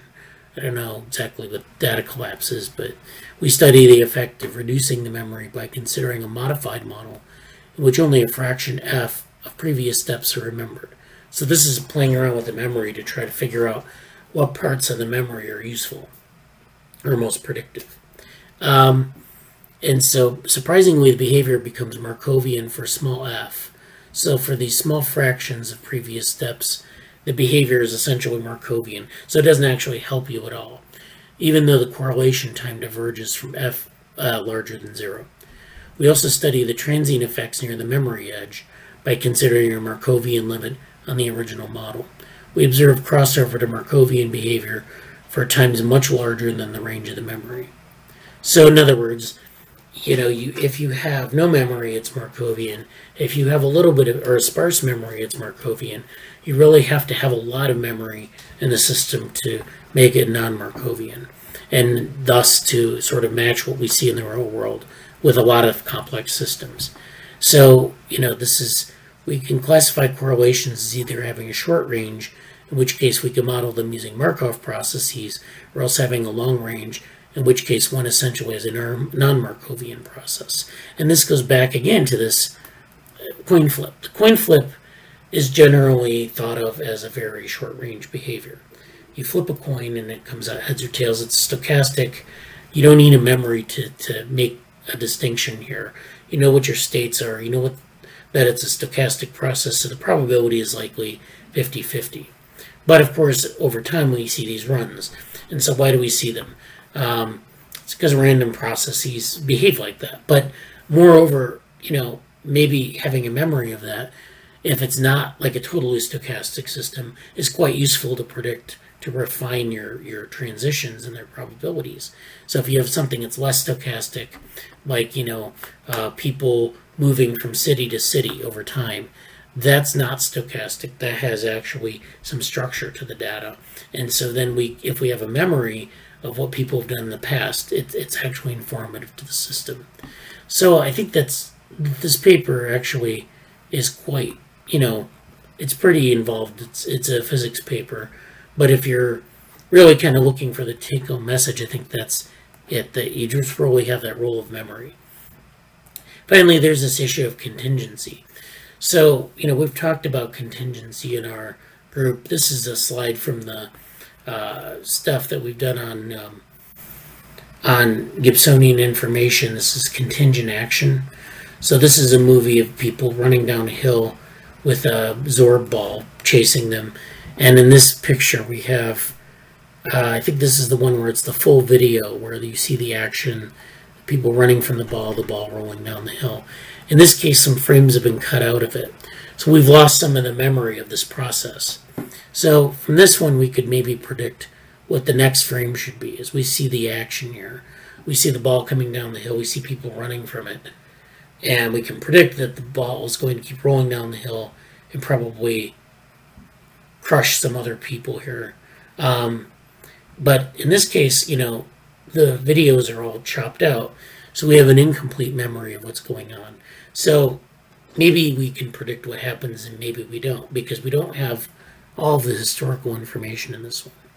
So uh, this actually leads to, to give us some sort of contingency tree. So from uh, this contingency tree, you know, you start at a certain state and you follow the action and you say, if this sort of thing happens, what's the next thing that's going to likely happen? So you can map out like a scene or you can map out some system using a contingency tree. And it's, you know, it's very logical you have these, you know, if something happens or doesn't happen, this is the next step. Then there are two other things that might happen that result from the next step, and so on and so forth. And you end up at the tips of this tree with discrete outcomes that have this, you can trace this back. So this is almost like credit assignment in this contingency tree, where each uh, node here represents a decision point or a piece of historical information and we can say, well, you know, there's a transition from that piece of information to another piece of information, and we can build these paths through the contingency tree. Now with this video, we can actually draw this out quite easily and trace back because it's reversible. In this case, though, it's a little harder because we don't have all the information.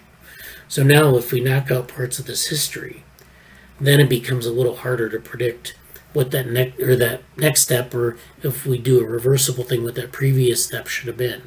And so this uh, actually interferes with our ability to, uh, you know, to interpret this these uh, current states properly because we don't know how it ended up the way it is. So, I mean, I'm, I'm just kind of like, kind of speculating about this contingency tree and its connection back to some of the ideas that we just talked about with credit assignment and with historical memory of, of these computational systems. Um, but you know, we do have this issue in development of contingency, and we do have this issue. It's very explicit in development, where you have you start off at a single point, and you get more complexity as you go through development, as things differentiate, as you acquire things. So in developmental biology, you often have cells that divide and differentiate. In developmental psychology, you're dealing with things that are, you know, you're acquiring new pieces of information, and depending on what you learned previously, that gives you some new hole to, you know, understand things. And it depends on maybe on the order you learn things or what you learn. That depends where you end up in this contingency tree. So, you know, it's again, it's this possibility space across, uh, you know, what you learn, and depending on what you're, you know, what, what comes before it, you end up with this path through development. And so this is again an example of an agent developing where you have these different germ layers that turn into these effectors and sensors and um, uh, central nervous system emerging. This is uh, something I presented to my other group in a little bit more detail, but this is something again from the uh, developmental Braitenberg vehicles work. So this is something that is um, where you have these different parts that are starting to emerge and differentiate in different ways. And so, and you can draw a tree of this and a contingency tree at that because some of these things, like these sensors and effectors, rely on this germ layer to be formed.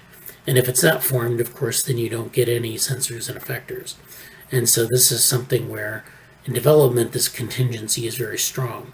It, you know, it, it you rely on one thing to produce another thing. So those are all, you know, this is a very different way, I think, of thinking about complex systems. We think about like, you know, just throwing a machine learning algorithm or deep learning algorithm at a problem. We don't really think about the contingency of, of action too much. And so I think that's an important point. But going back to this original tweet, then you have this system that isn't Markovian, but you know, you need to know the history. You can improve the insights into the current behavior. But of course, the Markovian model isn't really about insights, it's about prediction. So that sets up this difference between insight versus prediction. And of course, that's something that's a different issue altogether. So, any questions about that? Any observations, comments?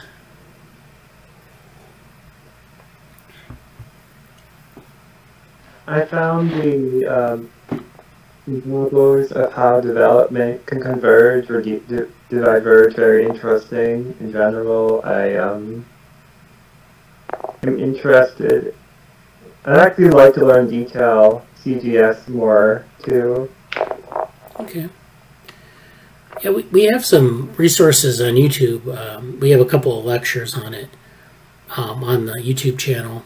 Um, and I know it's like, you know, it, like I present things in, in, in it, you know, it may, may be clear, it may not be clear, but um, I might go over, maybe next week, I might go over some things on CGS a little bit more. Um, but yeah, there are things on the YouTube channel that are useful in terms of like prior talks. I think there's a playlist for CGS stuff um, because I, I've had like, you know, we kind of started working on it and it's like one of those things that you really need a lot of background to really appreciate. like the background is like sort of self-referential and that we need to like create sort of tutorials for it and you know concepts and but those are all like we have actually a playlist on YouTube for that so you might check that out and it might give you a little bit more insight into that. Um, as for the developmental stuff, yeah, I think that is definitely there's a nice connection between like some of the statistical models that we've been working with or, or we talk about a lot, and then um, you know developmental processes and that's sort of the developmental AI aspect is is that you know maybe we want to bridge that a little bit more explicitly like you know if we're doing it's not just that you use development as a way to sort of shape the model it's that there are actually statistical consequences so for example, if we just apply a machine learning algorithm, you know, there's no memory, then we can't really get a good context. um, development, we know like people talk about like you know um, interact you know interactivity and and what uh, the term uh, like constructivism, where you know the the agent of, develops with its environment. So it basically has a very rich dialogue with the environment. And so if you think about like having a rich dialogue with history or historical events, uh, modern algorithms don't have that. And so they need maybe they need to have that to be much more insightful.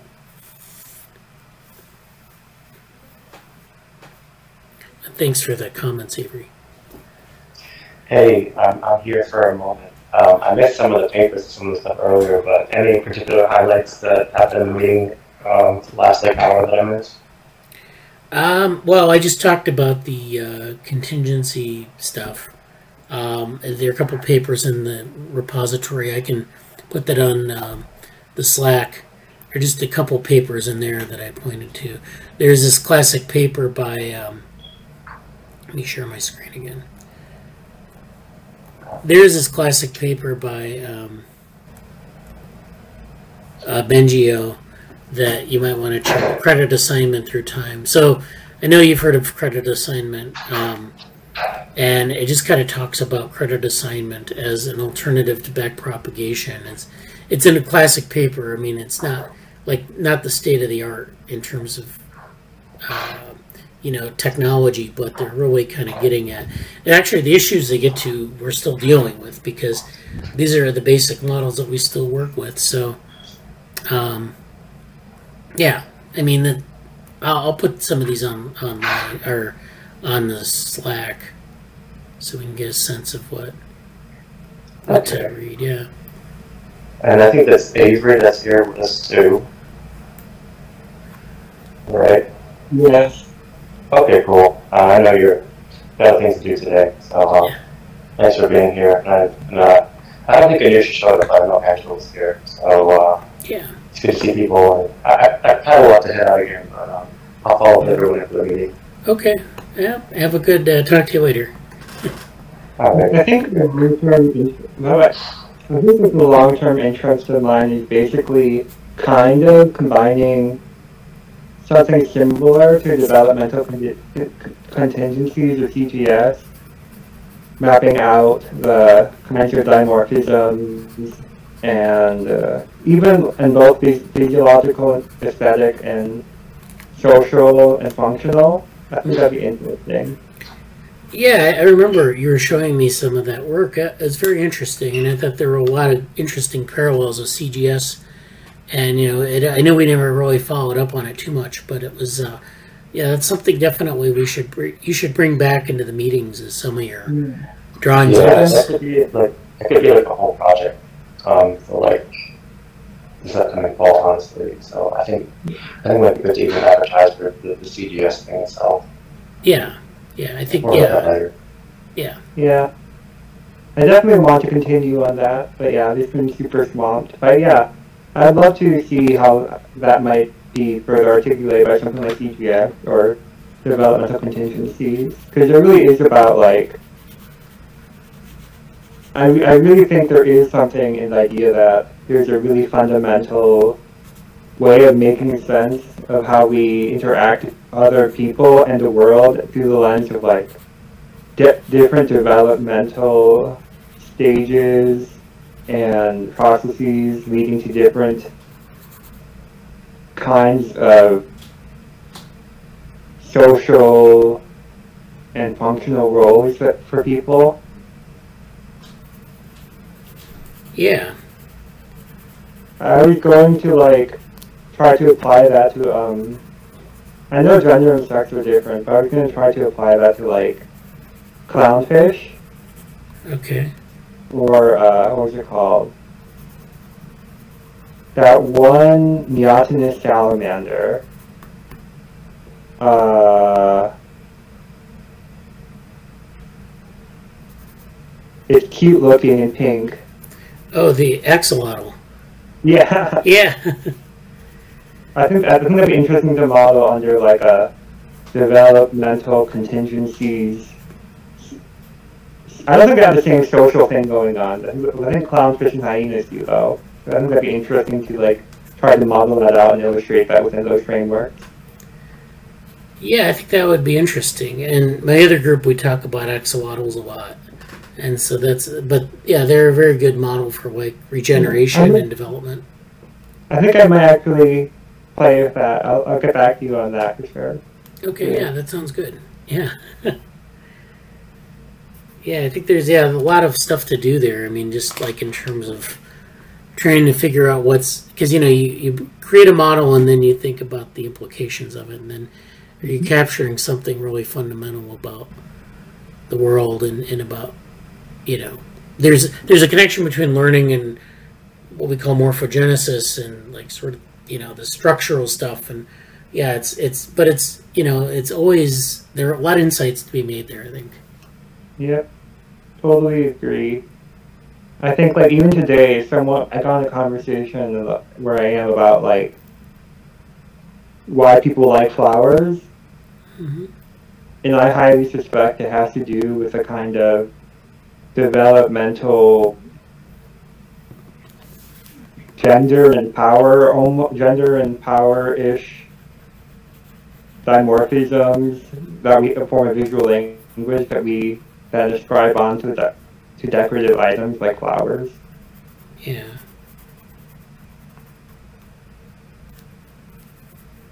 yeah Flowers actually, there's actually research about um, the morpho- how the morphology of flowers evolved to um, attract and be compatible with different pollinators actually read about. Oh yeah, coevolution of uh, flowers and, and uh, bees. Yeah, that they advertise their sort of advertise themselves to the pollinators, and then yeah, The birds and the bees. right. I think there's something similar. Yeah, in dating, but I think even just in like the way we just generically socially interact with each other is like that kind of fitting into different roles with each other of attraction, uh,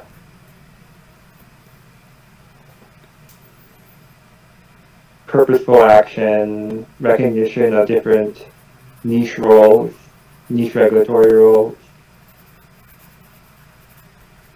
Yep.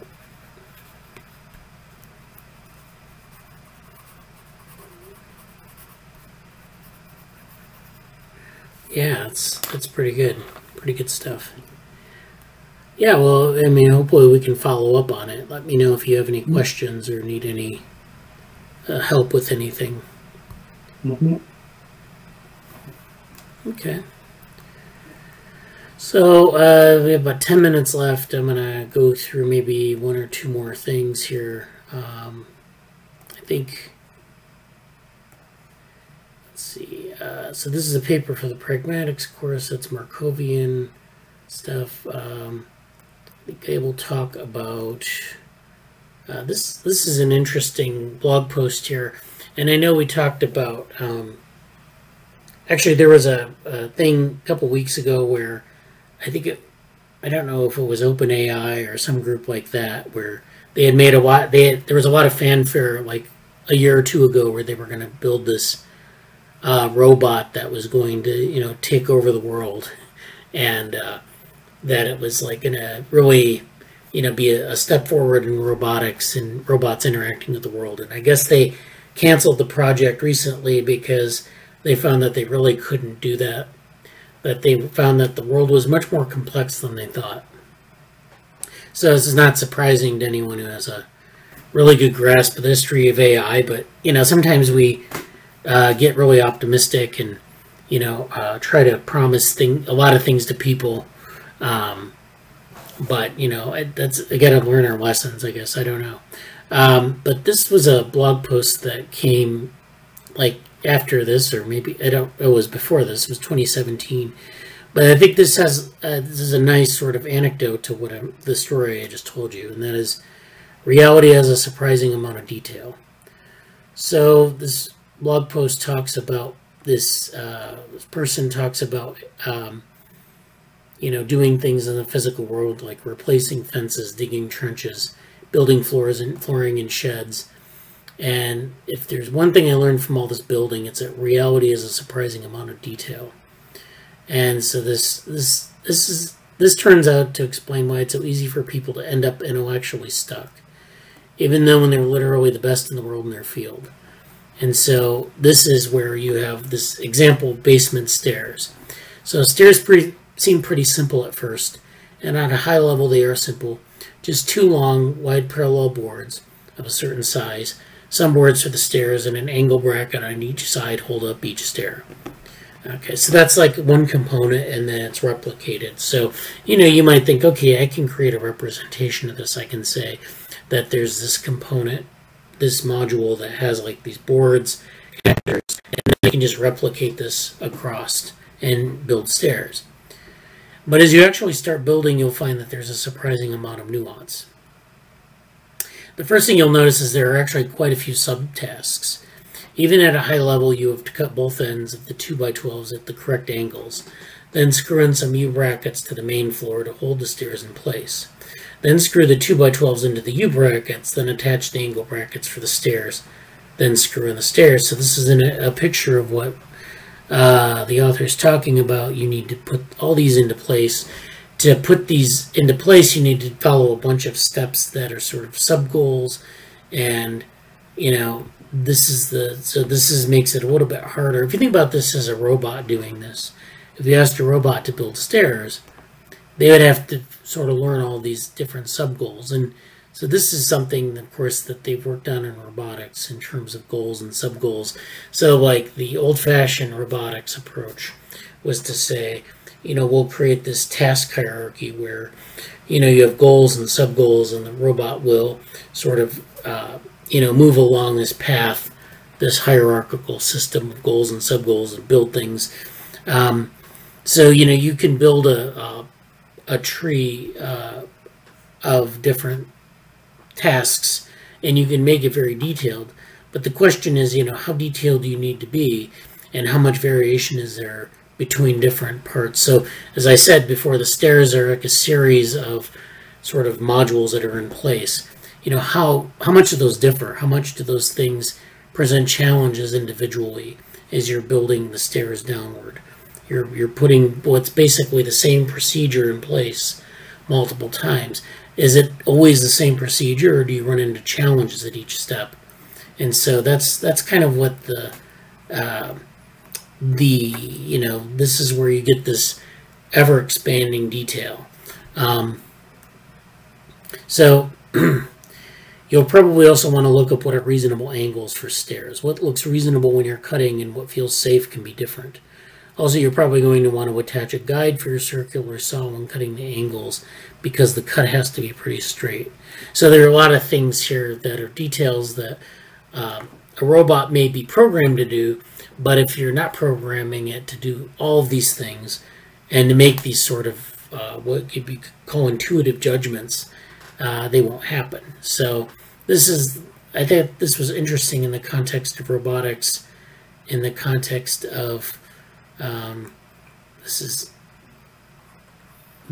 uh, some important details on colonizing the universe. So this is where um, I guess you get into this idea of like designing a probe to um, explore the universe and all the details involved in that in sort of predicting how that mission should go. And so this is just a thing to stress the complexity of that process. Uh, so if you wish not to get stuck, to seek to perceive what you have not yet perceived. And of course, that's an issue in a lot of uh, AI that we don't really have. You know, if we don't have a good model for something, or if we don't have if we don't have the data that's one thing but if we don't have the interpretive model or how to interpret that data even if we get it that's another thing and that's that's where you you have this problem of something you haven't yet perceived um, and so that's that paper um, I'm going to talk about this paper because it's been sitting in here for a long time and I feel like it's been neglected. This is something Jesse sent me a long time ago. And this is on the paradigm of altruistic suicide in the unicellular world. So this is a bit biological, um, but let's see. Um, actually, it has a lot to do with altruism. So maybe uh, Avery and, and Jesse, well, you know, Avery, of course, is doing the thing with altruism. Uh, Jesse's interested in it too. Anyway, in any case, uh, altruistic suicide is best known in the context of programmed cell death in multicellular individuals. So, programmed cell death is this method that cells use to sort of, uh, you know, some cells, you know, they don't just replicate ad infinitum. Sometimes they have a role to play in the organism and then they die after a certain number of divisions. So, this can be interpreted as altruism. This can also be interpreted as sort of a program process. Um, but, but in this case, they're interpreting it as altruistic suicide. Um, so this programmed cell death can be understood as an adaptive process that contributes to the development and functionality of the organism. So in the brain, we know that there we you know you have this proliferation of cells, and then you have this sort of uh, programmed cell death of some cells because you get overproduction of cells because the process isn't precise. But when you start using your neurons and your you know neurons get connected, not all cells have a role to play, and so you get this programmed cell death. You also see this in places like the eye field in development, where you get this uh, single eye field, and then there's this programmed cell death in the middle of the eye field to, to make sure that you have two eyes instead of one.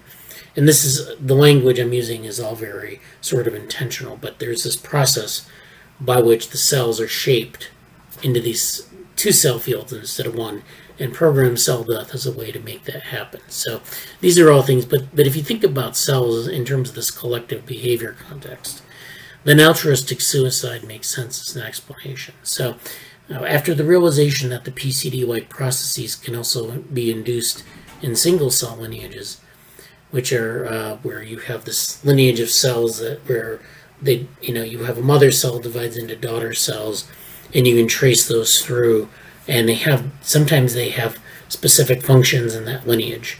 Um, the paradigm of altruistic cell death has been extended to include these active cell death processes in unicellular organisms.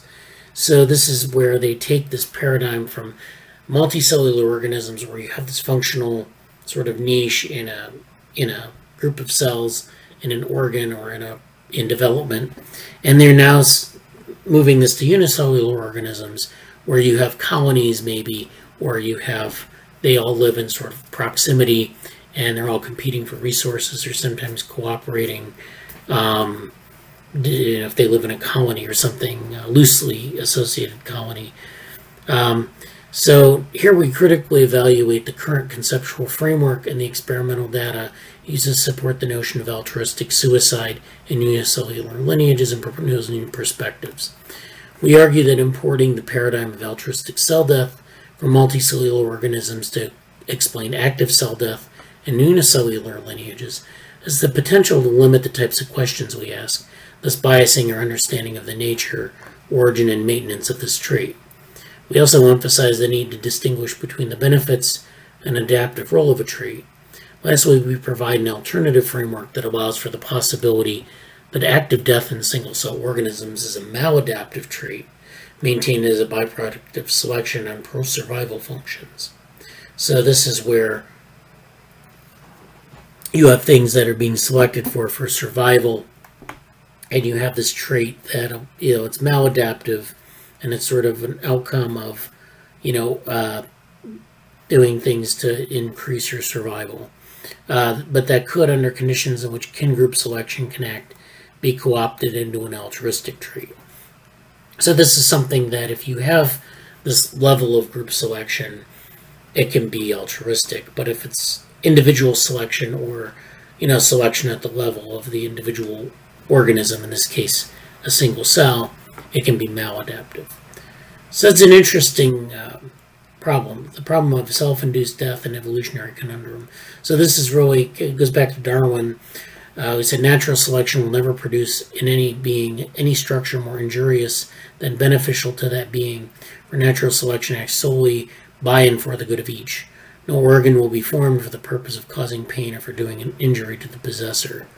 So this is uh, 19th century jargon, you know, like, um, but basically the idea is that um, natural selection will produce things that are beneficial to the organism, not maladaptive. Um, and that if it's maladaptive, it's some outcome of. Well, actually, Darwin, I don't think really thought of it that way, but you know that everything natural selection produces is generally uh, beneficial, and so um, that's that's what this basically means. Um, and so they kind of go through this idea of uh, it, actually they talk about selection acting at different levels, which is actually somewhat controversial. But let's assume that you know group selection is just as prevalent as individual selection. Um, this is something that you can switch between in in groups of organisms, so you can have individual selection, you can have group selection, and then death can also occur at multiple levels. So there's this basically this.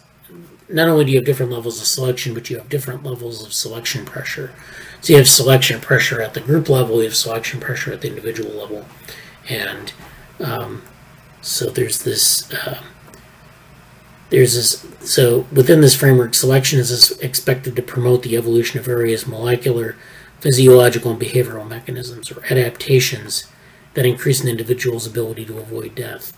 So, but in this case, you have programmed death. So why would you have programmed death if the cells are always trying to maximize their fitness and their survival? And so here they have a glossary of terms, um, and this kind of goes through some of the things that they talk about. Again, like I said before in the meeting, these terms are very important to get very precise, um, but it kind of goes through some of these ideas and their the terms that they use and the the tight definitions. So, um, I'm not really, and I'm not really sure what my opinion is on this paper. I think it's interesting to think about um, programmed cell death in this way. I've not really th- ever thought about it in this way, but um, I mean, I know that like programmed cell death in a lot of in in multicellular organisms generally, um, you know, like I said, you'll have programmed cell death to reach a larger outcome.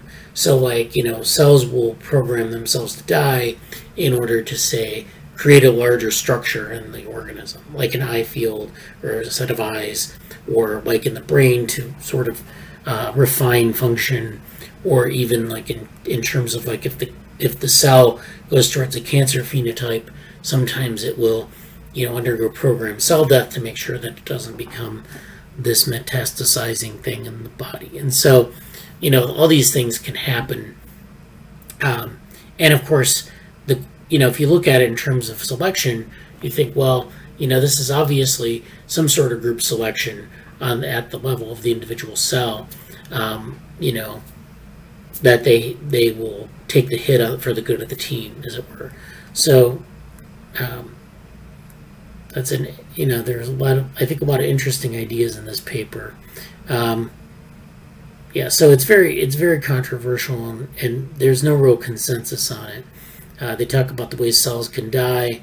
Uh, there's necrosis. There's programmed cell death, which is where it just goes through a number of divisions and then dies. Um, there's also like if it reaches a certain stage of development, or you know sometimes there's autophagy or um, necroptosis. So if the cell is like getting sick, as it were, it dies there are a lot of ways in which this death can kick in, and so um, they just kind of go through those examples. And it could be that it's just a totally autonomous process.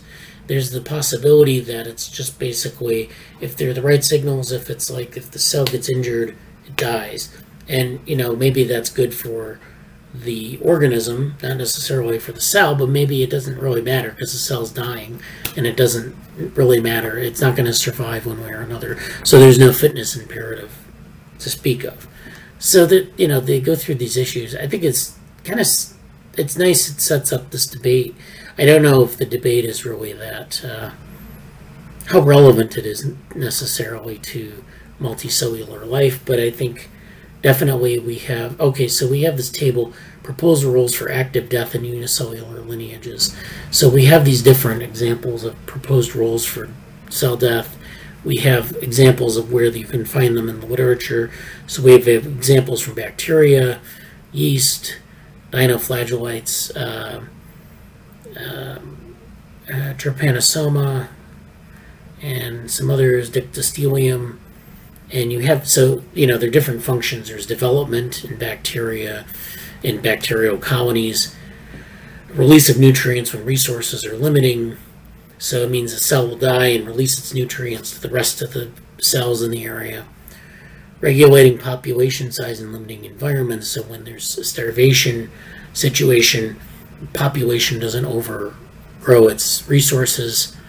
The removal of mutated and damaged cells, this happens in yeast and bacteria and dictyostelium, which are these slime molds.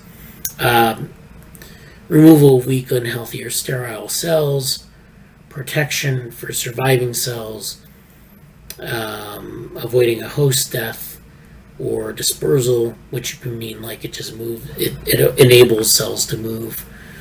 Uh, so all these things are really beneficial at the group level, and individual cells pay the price. But the question is, is whether that really matters, or, or whether it is this sort of altruism. And so, um, we'd take a look at this paper, and I'll post this as well. So that's all I have to say for today. I know that was a little bit um, over, but that's okay. Um, so next week, I think. I'm trying to get my camera back on here. So next week, I think we'll talk about um, some more papers, and we'll maybe try to advance the ball on some of this administrative stuff. And maybe we'll have uh, people, if, if you want to present anything, uh, any ideas, even if they're really rough ideas, I welcome you to present something. Uh, we're also reaching uh, maybe a deadline on some papers, so I'll try to get some work done this week and, and maybe present on maybe a little bit more on the MetaBrain models paper and this uh, CGS paper, you know, kind of get it into shape. So, okay, uh, anything else we want to talk about before we go, or? My Howard Committee actually brought up the controversy around um, group evolution versus individual evolution. I think he actually mentioned um, altruistic cell specifically. I'll have to ask him again about it. Okay, yeah, yeah. and I'll put the paper in the Slack so you know if you have the reference. But yeah, that is a nice controversy. I'm not really sure what the state of the art is there because there's a lot, lot going on um, with people going back and forth on it. So. Yep. Yep. I I forgot, forgot the the contact. You mentioned, mentioned it in, so so it'll it'll be interesting to ask. ask. Yeah, yeah, definitely. Okay, well, thanks for attending, and we'll catch up on Slack throughout the week and hope to see you next week. See you See you next next week. week. See you. Take care.